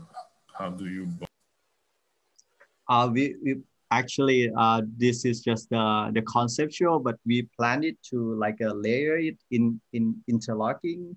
Like, so it, it will somehow like a twist in between when when the 3D printing were printed. But um, this this is uh, the, we keep it very conceptual right, right now, so we we don't have the detail of that.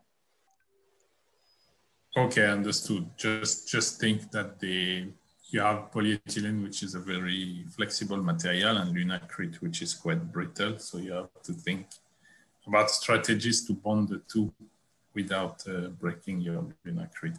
And uh, yeah, about the crop cultivation, something you need to think about as well is how you will um, circulate the water, uh, how you will manage that. Uh, it will be efficient to have a kind of continuous circulation through all your crops. So that's something you could include in your in your design. That was all from me. Very good work.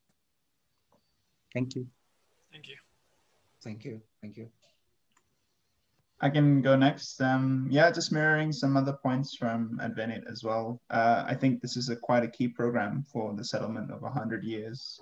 So to see it in the master plan of projects is quite central because uh, the distribution of food, uh, of inflows and outflows would be very important. So um, it's interesting to see how you positioned it and also uh, like Advenit said, the circular, cir circularity aspect to this is quite key. And we want to minimize any waste.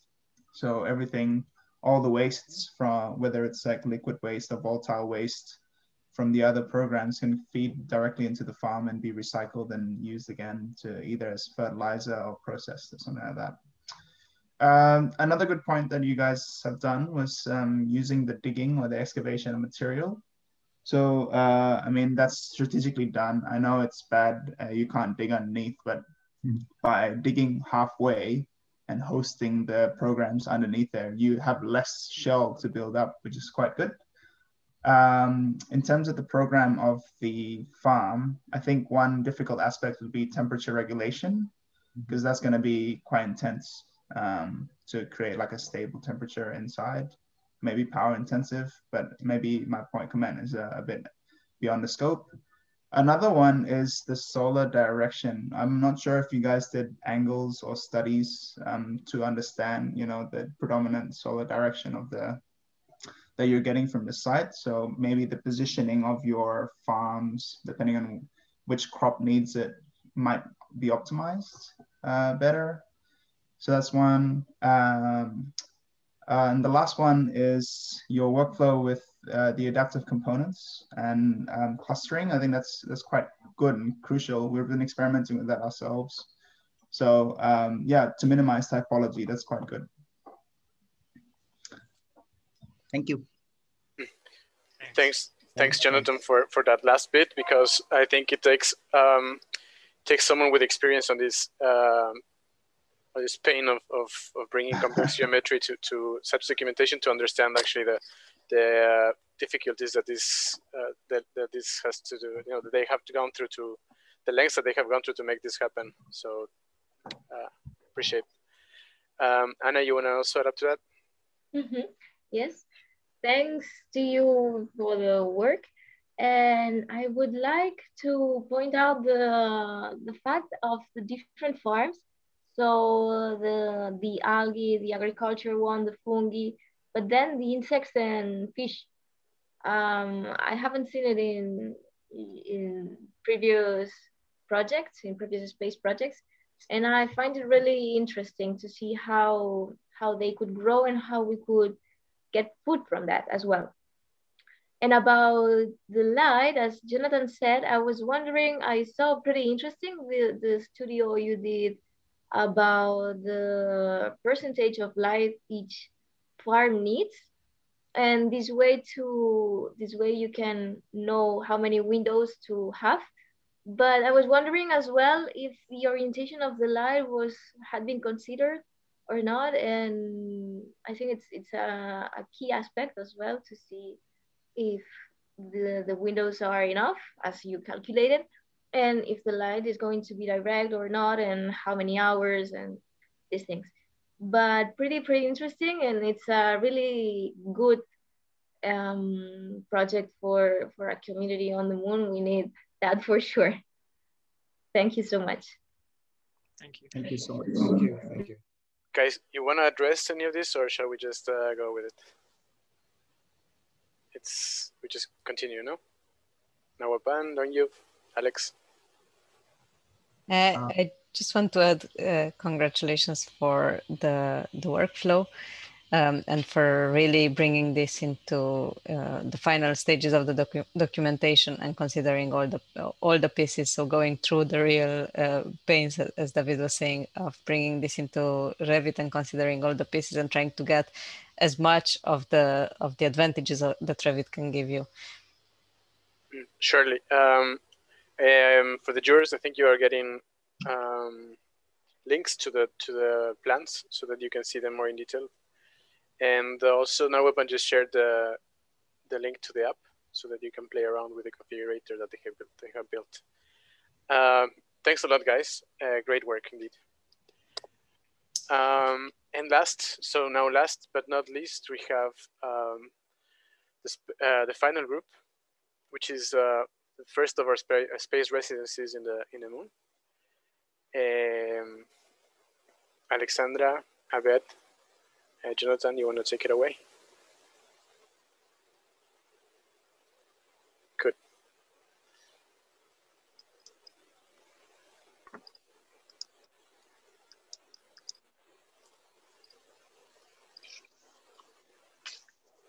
Hi, good evening. Uh, we are group eight, um, Jonathan, Alexandra, and I, Abed, that to design the Sereno biohabitat uh, uh,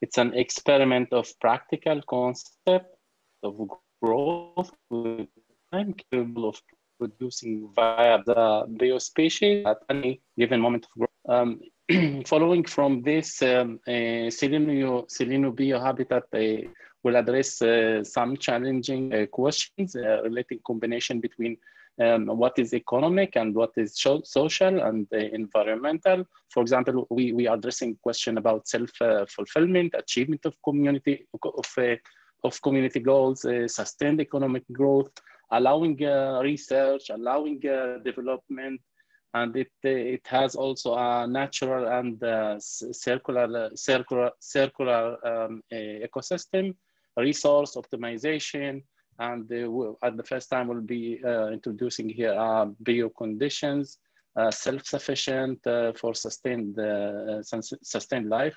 And sense of community and the most important thing is the psychological need for green space. Um, we uh, actually uh, came uh, to conclusion that we should send the, the beginning, send the bacteria to colonize the moon and um, searching, searching for a technology that can, can generate or allow generation of uh, new life on the moon, uh, life of equi equilibrium and progress. Um, we found uh, some um, interesting and emergent research uh, cutting edge uh, research. I will, uh, we will highlight, we will highlight that um, um, the most important three of them for our project. the first one is how to enhance soil by using bacteria uh, through adding uh, uh, plant parts in order to break down the, the bacteria then can break down um, these parts into um, nutrients that could be reaching uh, the, the soil. The second one is the, um, a technology that developed already um, about the 3D printing of organism, organism um, using bacteria and uh, those dead uh, plant parts can can um, um, uh, give us a, a, new structure that can be used um, in, in, our construction.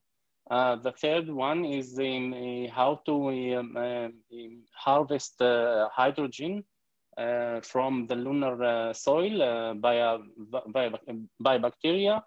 Um, and then our, I mean, our proposal for generation life on the moon will be starting on at the beginning, um, enhancing the, the lunar soil um, and having the nutrients in the soil that allows us uh, and also, sorry, that allows us uh, to plant uh, vegetation.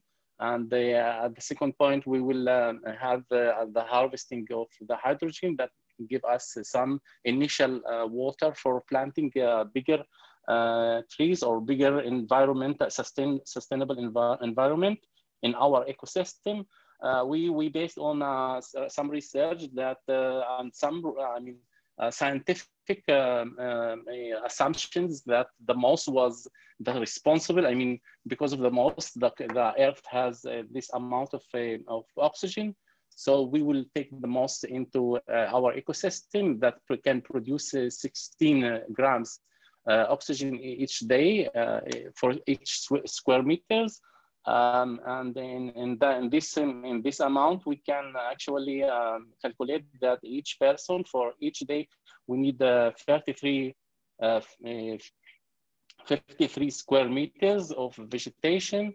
Um, the map of the materials that we're gonna use, whether they are on the moon or in, uh, from uh, Earth, that they, uh, will be initially uh, brought up and later they will be produced on on the moon without uh, bringing bringing them back uh, again. Sorry. Um, uh, at the second phase, and at the second phase, it will be the enhancing soil and planting the moss. Um, and the third, the third phase will be um, using the, this extraction of materials, um, whether they are um, from uh, bacteria mining or somehow um, in uh, process uh, enforced mining uh, for the main structure and uh, the bioshield uh, from uh, radiation, which will be ex explained later, and for also the interiors. Um, and also we can produce oxygen that um, can give us um, um the allowance to plant greenery inside our ecosystem so uh, following from this, we, we looked for an um, actually um, modularity and light structure and also um, uh, we looked for a scheme that can allow this, system to, to, to, generate and uh, um, uh, give a, give the colony um, growth uh, without with with um, um, uh, actually uh, highlighting the need for being to have common areas and the green areas in the in the colony. This is our system uh, how it's gonna work. Uh, at the beginning, we struck the structure, and later on, we will uh, install uh, the uh, panels, the bacteria panels, and the and also the uh, solar is lunar soil on the top. And in the inner side, we will have the vegetation, in this case, the moss.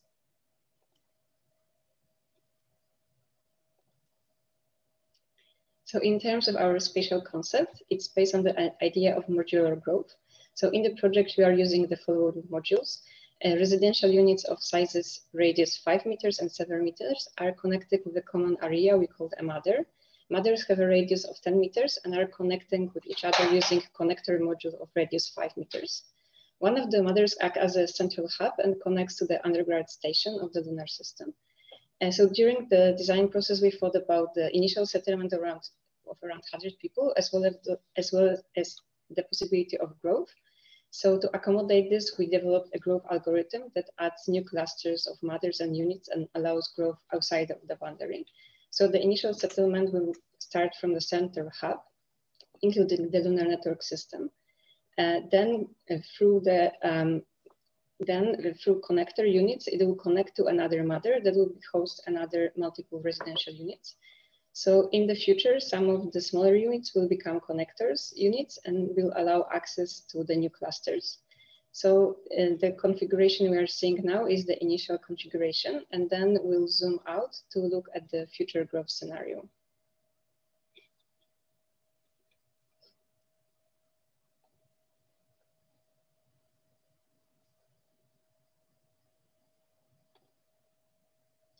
So for each cluster, the small, uh, two small residential units will be designed as a future connector. And when there is a need to grow in a certain direction, a new mother will be added and new residential units will be populated around it. And this will allow flexibility of the future growth of the colony. So next, speaking about, the program, here is the diagram of the total floor area of the initial configuration, showing uh, each of the discussed modules. And then we will see the section that shows uh, the distribution of the program for each of the modules that we presented earlier. And now we'll take a closer look at each of the modules. So um, starting from the grandmother, here is a central hub with the connection to the underground tunnel.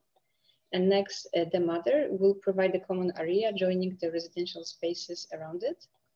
And that, uh, next uh, is the connector unit that will cover the circulation as well as provide additional common areas. And finally, the residential units. So first the bigger one, accommodating a bigger family, and then the smaller one, smaller unit that provides uh, space for a smaller family. In our colony of 100 people, we will need 84 kilograms of oxygen per day. And with a 10,000 square meter interior vegetable skin, we will produce 160 kilograms per day. That means that our project could supply double of the total needed and will bring high psychological benefits to the colony. Regarding the fabrication process, here we can see the step by step. The robots will start first assembling the geodesic structure. Later, we can see how the small units are connected to the mother and how the bacteria honeycomb panels are placed here the honeycomb. Then the dome will be covered with regoliths over the bacteria and inside the new soil will be added. Here we can see all the layers of the system. The mother will provide light through a triangular gold coating glass that will be fixed to the uh, geodesic dome. And regarding how we did this project, here we have uh, the, our computational workflow. So this is our computational workflow showing the different 11 steps we went through, starting from manipulating the context with our massing in Grasshopper, then developing our growth system with Python, and then transferring out the different layers with Speckle and Rhino Inside. In order to give feedback to our system, we analyze it, for example, with Karamba. And finally, Revit was used to receive all the streams and to document the project. In the next slide, uh, we see as well how the, the roles are integrated in this uh, uh, system. So it was really important to create this collaborative workflow uh, where we have two architects and one engineer. Here we can see an example of how the roles are reflected in the different systems of the project. For example, the structure, the bacterial layer, or the walls. And here we're cutting the, vertically our project, showing the four layer, levels that were created in order to adapt to the specific terrain conditions. We can also see how the bacteria layer is along all the, the project. And in the next one, we will see the first uh, visual from our project, and it's uh, showing the, the growth aggregation system that uh, we selected. And uh, here is the, the lowest level, and then we go to the level one, and then it's connected to the grandmother. And finally, in the fourth level, it's connected with the last cluster. Here's an overview of our skin and uh, how it was adapted to the topography, one of our elevations. And if we go to the next one, this is an overview as well, one of the, the main parts of the system. And uh, if we go to the next one, here's like the impressions of our interior atmosphere where we are having these bacteria panels. Here we see the integration of the clusters with this change of topography and how the bacteria vegetation is predominant. Here another visualization of this uh, mother. Oh, well, uh, we can see how uh, it's a social area where uh, it's, uh, yeah, the protagonism is the, the bacteria and the vegetation. Here as well, we can see as well the, how uh, the light is going through the highest part of the of the dome and how the structure is uh, as well one of the main elements in in the space. And here we have some images from the exteriors of the project.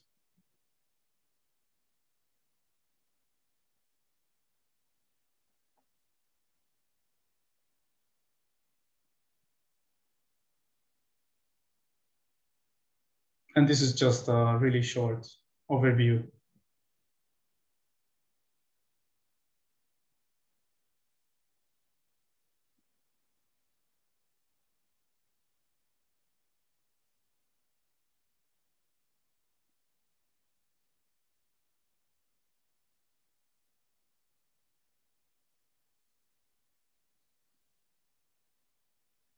Yeah, thank you very much. Thank you. Thanks a lot, guys. that was that was truly inspiring. Um, I don't know if you want to leave the spread of the of the of the presentation there for the juries to see. Uh, from my side, I also want to commend you for, for the for the really big effort that you've made in these two weeks. Um, aside from the, I mean, for for explaining everything quite clearly. Uh, aside from all of the effort that you have already put before that, so thanks a lot. I'll leave. Uh, I, I leave most of the time for the jurors to comment, I guess.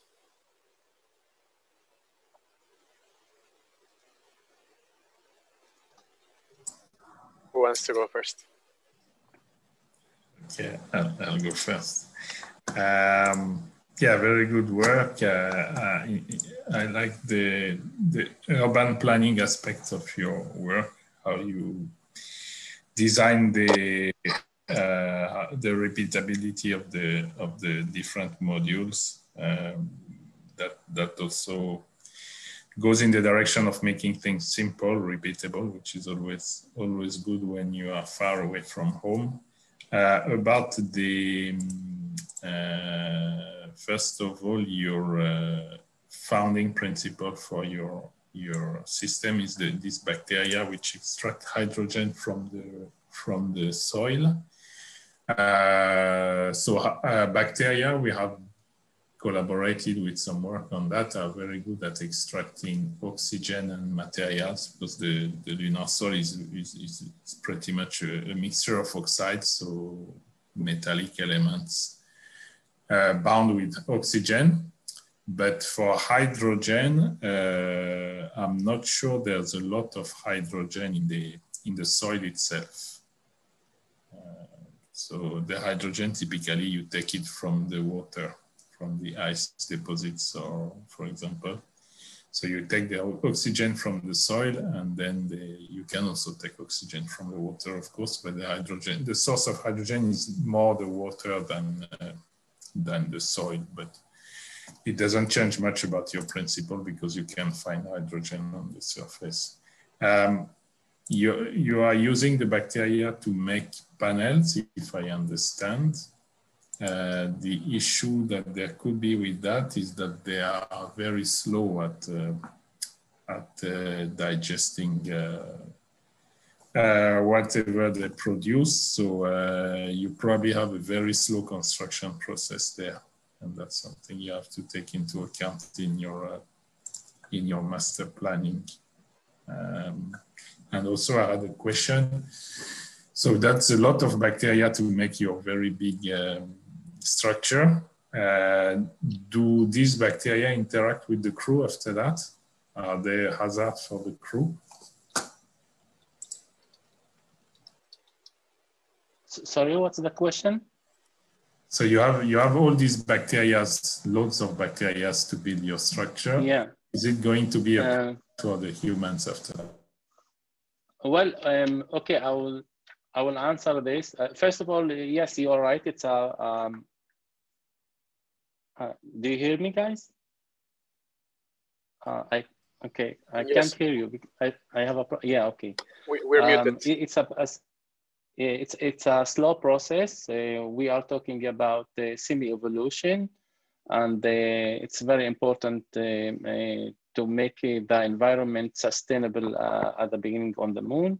About the bacteria and the amount of, the, of it, it's it's the panels are 3D printed as a with a form of honey honeycomb. So um, they have um, they have um, holes inside so um, my first calculation uh, about this, um, uh, we are talking about uh, 300 um, cubic um, of bacteria, which will be shipped not in um, in a, I mean in a direct way. They will be shipped along um, the the time and um, uh, till we have the community uh, already uh, completed. But on the, on the inside the ecosystem, they are not uh, in, uh, coming with a touch with the people who are living there because um, um, um there are uh, a vegetation that um, um, um, stand be between them. It's like uh, the bacteria inside the earth and you will see the flower, I mean, in your garden. It's the same thing. It's the same, the same system hope hope I I I answered uh, how I yep. understood your question. Yeah, yes, thank you. So that was all for me. Good work. Thank you.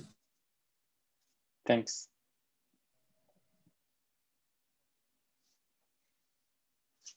Okay, I can go next. Um, congratulations for your work. I think this layer mm, but with bacteria panels uh, first of all, the most important thing is that they open a huge uh, range of possibilities to think out of the box. So not just the common materials we're used to use, but explore any kind of new ideas. Um, I was wondering, these bacteria, I I guess the the the residence is pressurized. So these bacteria are in, inside that pressure. I understand, no? In, inside what? Yeah. They, they follow, they are- yeah, okay. Sorry, the, sorry, I have- I have a bad internet, so uh, sometimes I. Yeah, but uh, it's it, it it's inside and uh, yeah, it's uh, the assumption is right. Okay, so yes, it's a, I think it's a good point to keep investigating and think out of the box to find new materials. And apart from this, I find really interesting as well the pattern, the pattern to repeat these got these grandmother and the, the other modules because it can be repeated as uh, as you said. But I was wondering as well, can you have different grandmothers? In case it grows too much, you've got different mm, points, so grandmothers, or or there's just one. Yeah, actually, this is an in interesting point. I mean, uh, it's um, the mother is kind of really similar in terms of size to to the to the mother. The only main important thing is kind of it is a hub for connection in terms of uh, the infrastructure in, in, in, the moon. So uh, it's actually really really interesting to, to try it, like to insert this into the, the Python growth, because we can set one rule, like uh, uh, when we reach this amount of, of population, we can uh, again try to settle a new hub and uh, to develop new connections or new infrastructure. Mm -hmm. Yes, I think I think that one is really interesting, and it's a, a point. Another point to investigate about would be the shortcuts to get from a, a grandmother in, a, in, an area of all this network to another one? Should we go through all the mothers or uh, are there any like fast way? So I think that's a, a point to investigate about. It's a really good work. I liked it a lot and congratulations. Thank you. Thank you. Uh, yeah, just a few points from my end. Um, great work, guys. Congrats for the stuff that you've produced. Um, yeah, I, I, honestly think the bacteria panel could be a good idea in the future. Um, some concerns is what Advenit was saying around the nutrients available in the soil. And I, am pretty sure this pH is really high. So it might not work with uh, some species. Um, so that's uh, point number one. The other one is uh, around circularity. So I'm guessing that um, whatever system you guys are implementing, if it's producing an X amount of oxygen, all of that oxygen emitted will need to be recaptured again and recirculated within the structure. But there might be even an opportunity to, to extract it and capture it, store it, and then distribute it to the other infrastructure around your buildings um, in the colony. Right? Um, so that could be an interesting point to do. Um, same what Anna was saying is this growth of modules. And I see that there's like the mother, grandmother, that's sort of two or three types of um, domes, I guess, in a way.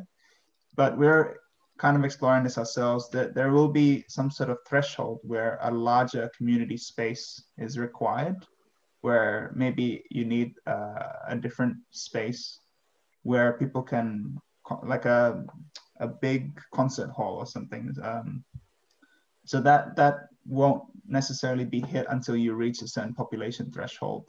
Um, and another one is with this bacteria uh, maintenance, do you need some sort of distribution network for water um, or is the condensation uh, in the air enough to, to yeah, I mean, it's touching a lot into this, um, what we call uh, bioregenerative um, ECLSS or ECLSS, which is the environmental control and life system support, which is good. I'm gonna send two links in the chat. And there's some even like uh, photo bioreactors that you guys might wanna decide to look to. That's one, that's two. Cool, but great job. Okay. Super interesting. I, I, I, was wondering, and and maybe ask uh, any of you guys if you if you know um, any references regarding bacteria for for the for off world in specific. Uh, if if this is actually consider infeasible or, or too, too experimental?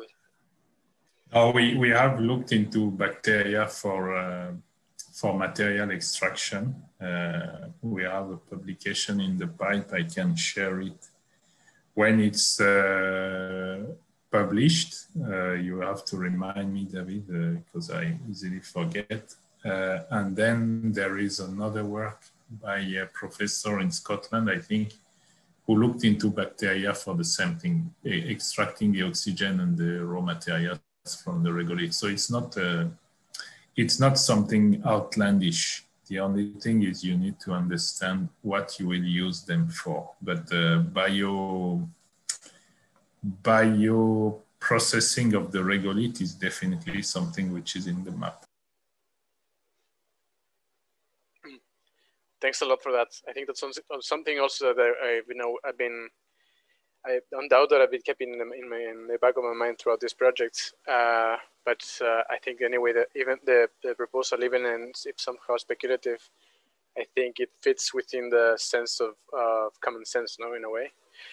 Uh, and the, the way that they have developed it, I think it's kind of elegant how it, it matches their the way that they have also formalized the project. So um, thanks a lot, guys. Uh, it's uh, it's it's been a really nice presentation, and overall, I think it's been a really uh, interesting evening of uh, set of presentations.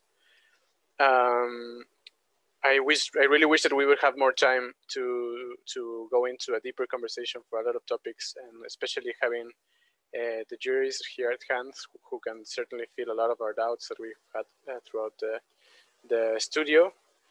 And more even so, I also wish that we, we, we could have uh, do the usual thing after the studios and go out and grab a beer and, and celebrate because I do think that uh, that the amount of work and effort that you have put for the studio and the and the result that, that we've seen today truly deserves a cheer of celebration. Uh, so either if it's uh, virtual or not, um, I I thank you guys for that.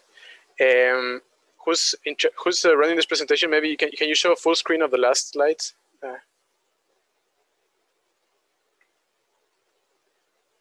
yeah, maybe one of those like number. This one, that one is 59. I'll just put, put it on full screen for a sec. Just when I get a nice uh, a nice take for the you know for the, for the record. Um, also, um, I think you guys can stop sharing now if you want also, because maybe now it's time to maybe show turn off or uh, turn, turn on our, our cameras and maybe say goodbye and wrap up this session. Per perfectly on time, may I say, which is a feat already for, for studio sessions. Uh, I think uh, I, I, think I hope that, that our that our juries also appreciate that. But then, in any case, I really really thank uh, both the juries for spending the time with us uh, and the students as well for taking uh, you know all of the uh, time within these weeks to polish your work properly and, and not only um, work on the content which you have already had developed so far greatly, but made, making the effort to make it so easily understandable and, and easily digestible, uh, which has actually uh, led to, to, the fact that we can have this uh, type of interesting discussions and conversations addressing the, the, the, issues that you want to, to show to the, to the jurors. Um, is, I don't know if there's anything else that you, you guys want to add before we, we wrap that up. I think it'd be interesting for maybe tomorrow's session because I like the connection between the projects. So maybe have like a ongoing master map to see how this one relates to this one and the other one. I'm not sure if that can be like refresh so we know locally where each project sits. It'd be interesting. Uh, sure. I, I so one of the things that we've been sort of fantasizing, fantasizing about in the studio is that uh, this colony outlives this this year, and the next uh, colony outpost comes next year, and we just kind of plug into this colony. So maybe in the in the end, we can have an MaCAD BIM Studio website where you can see the overview of the projects coming together, and yeah, um, in any case, if you are interested, you're all, of course welcome to join next session either. Uh, if you can find some time to join us tomorrow, it doesn't have to be for the whole session. You can join uh, at any point if you want, or you can just tune in in the Facebook feed and see what the what the projects are about without having to join the, the Zoom session. You're, you're most you're most welcome to join us. Um, in any case, um, it, it's there's a there's a another round of projects coming uh, tomorrow, which are which will be definitely also interesting to see. And I really want, just want to thank you guys again for for for coming and sharing with sharing your thought with us. It's been a true pleasure to get to know you, some of you, and also uh, having your expertise be poured into these into these projects would certainly have, um, in a way, a lot of outlook if if the students shall you decide to continue to carry them forward, uh, either uh, you know in the BIM area or in the on, in more in the space uh, architecture design area. Um, having said that, I think we can wrap it up on time. Uh, Anna, you want to add to, to my words, maybe? I just want to thank the jury um, again uh, for all your comments and for actually for giving us a lot of insights as well. We will surely use it for the next studio, for next year's studio. Um, and also want to thank all the students for the uh, extreme effort they put in and also uh, to thank the students who are here from the from tomorrow's group for uh, coming up to support their their um, colleagues.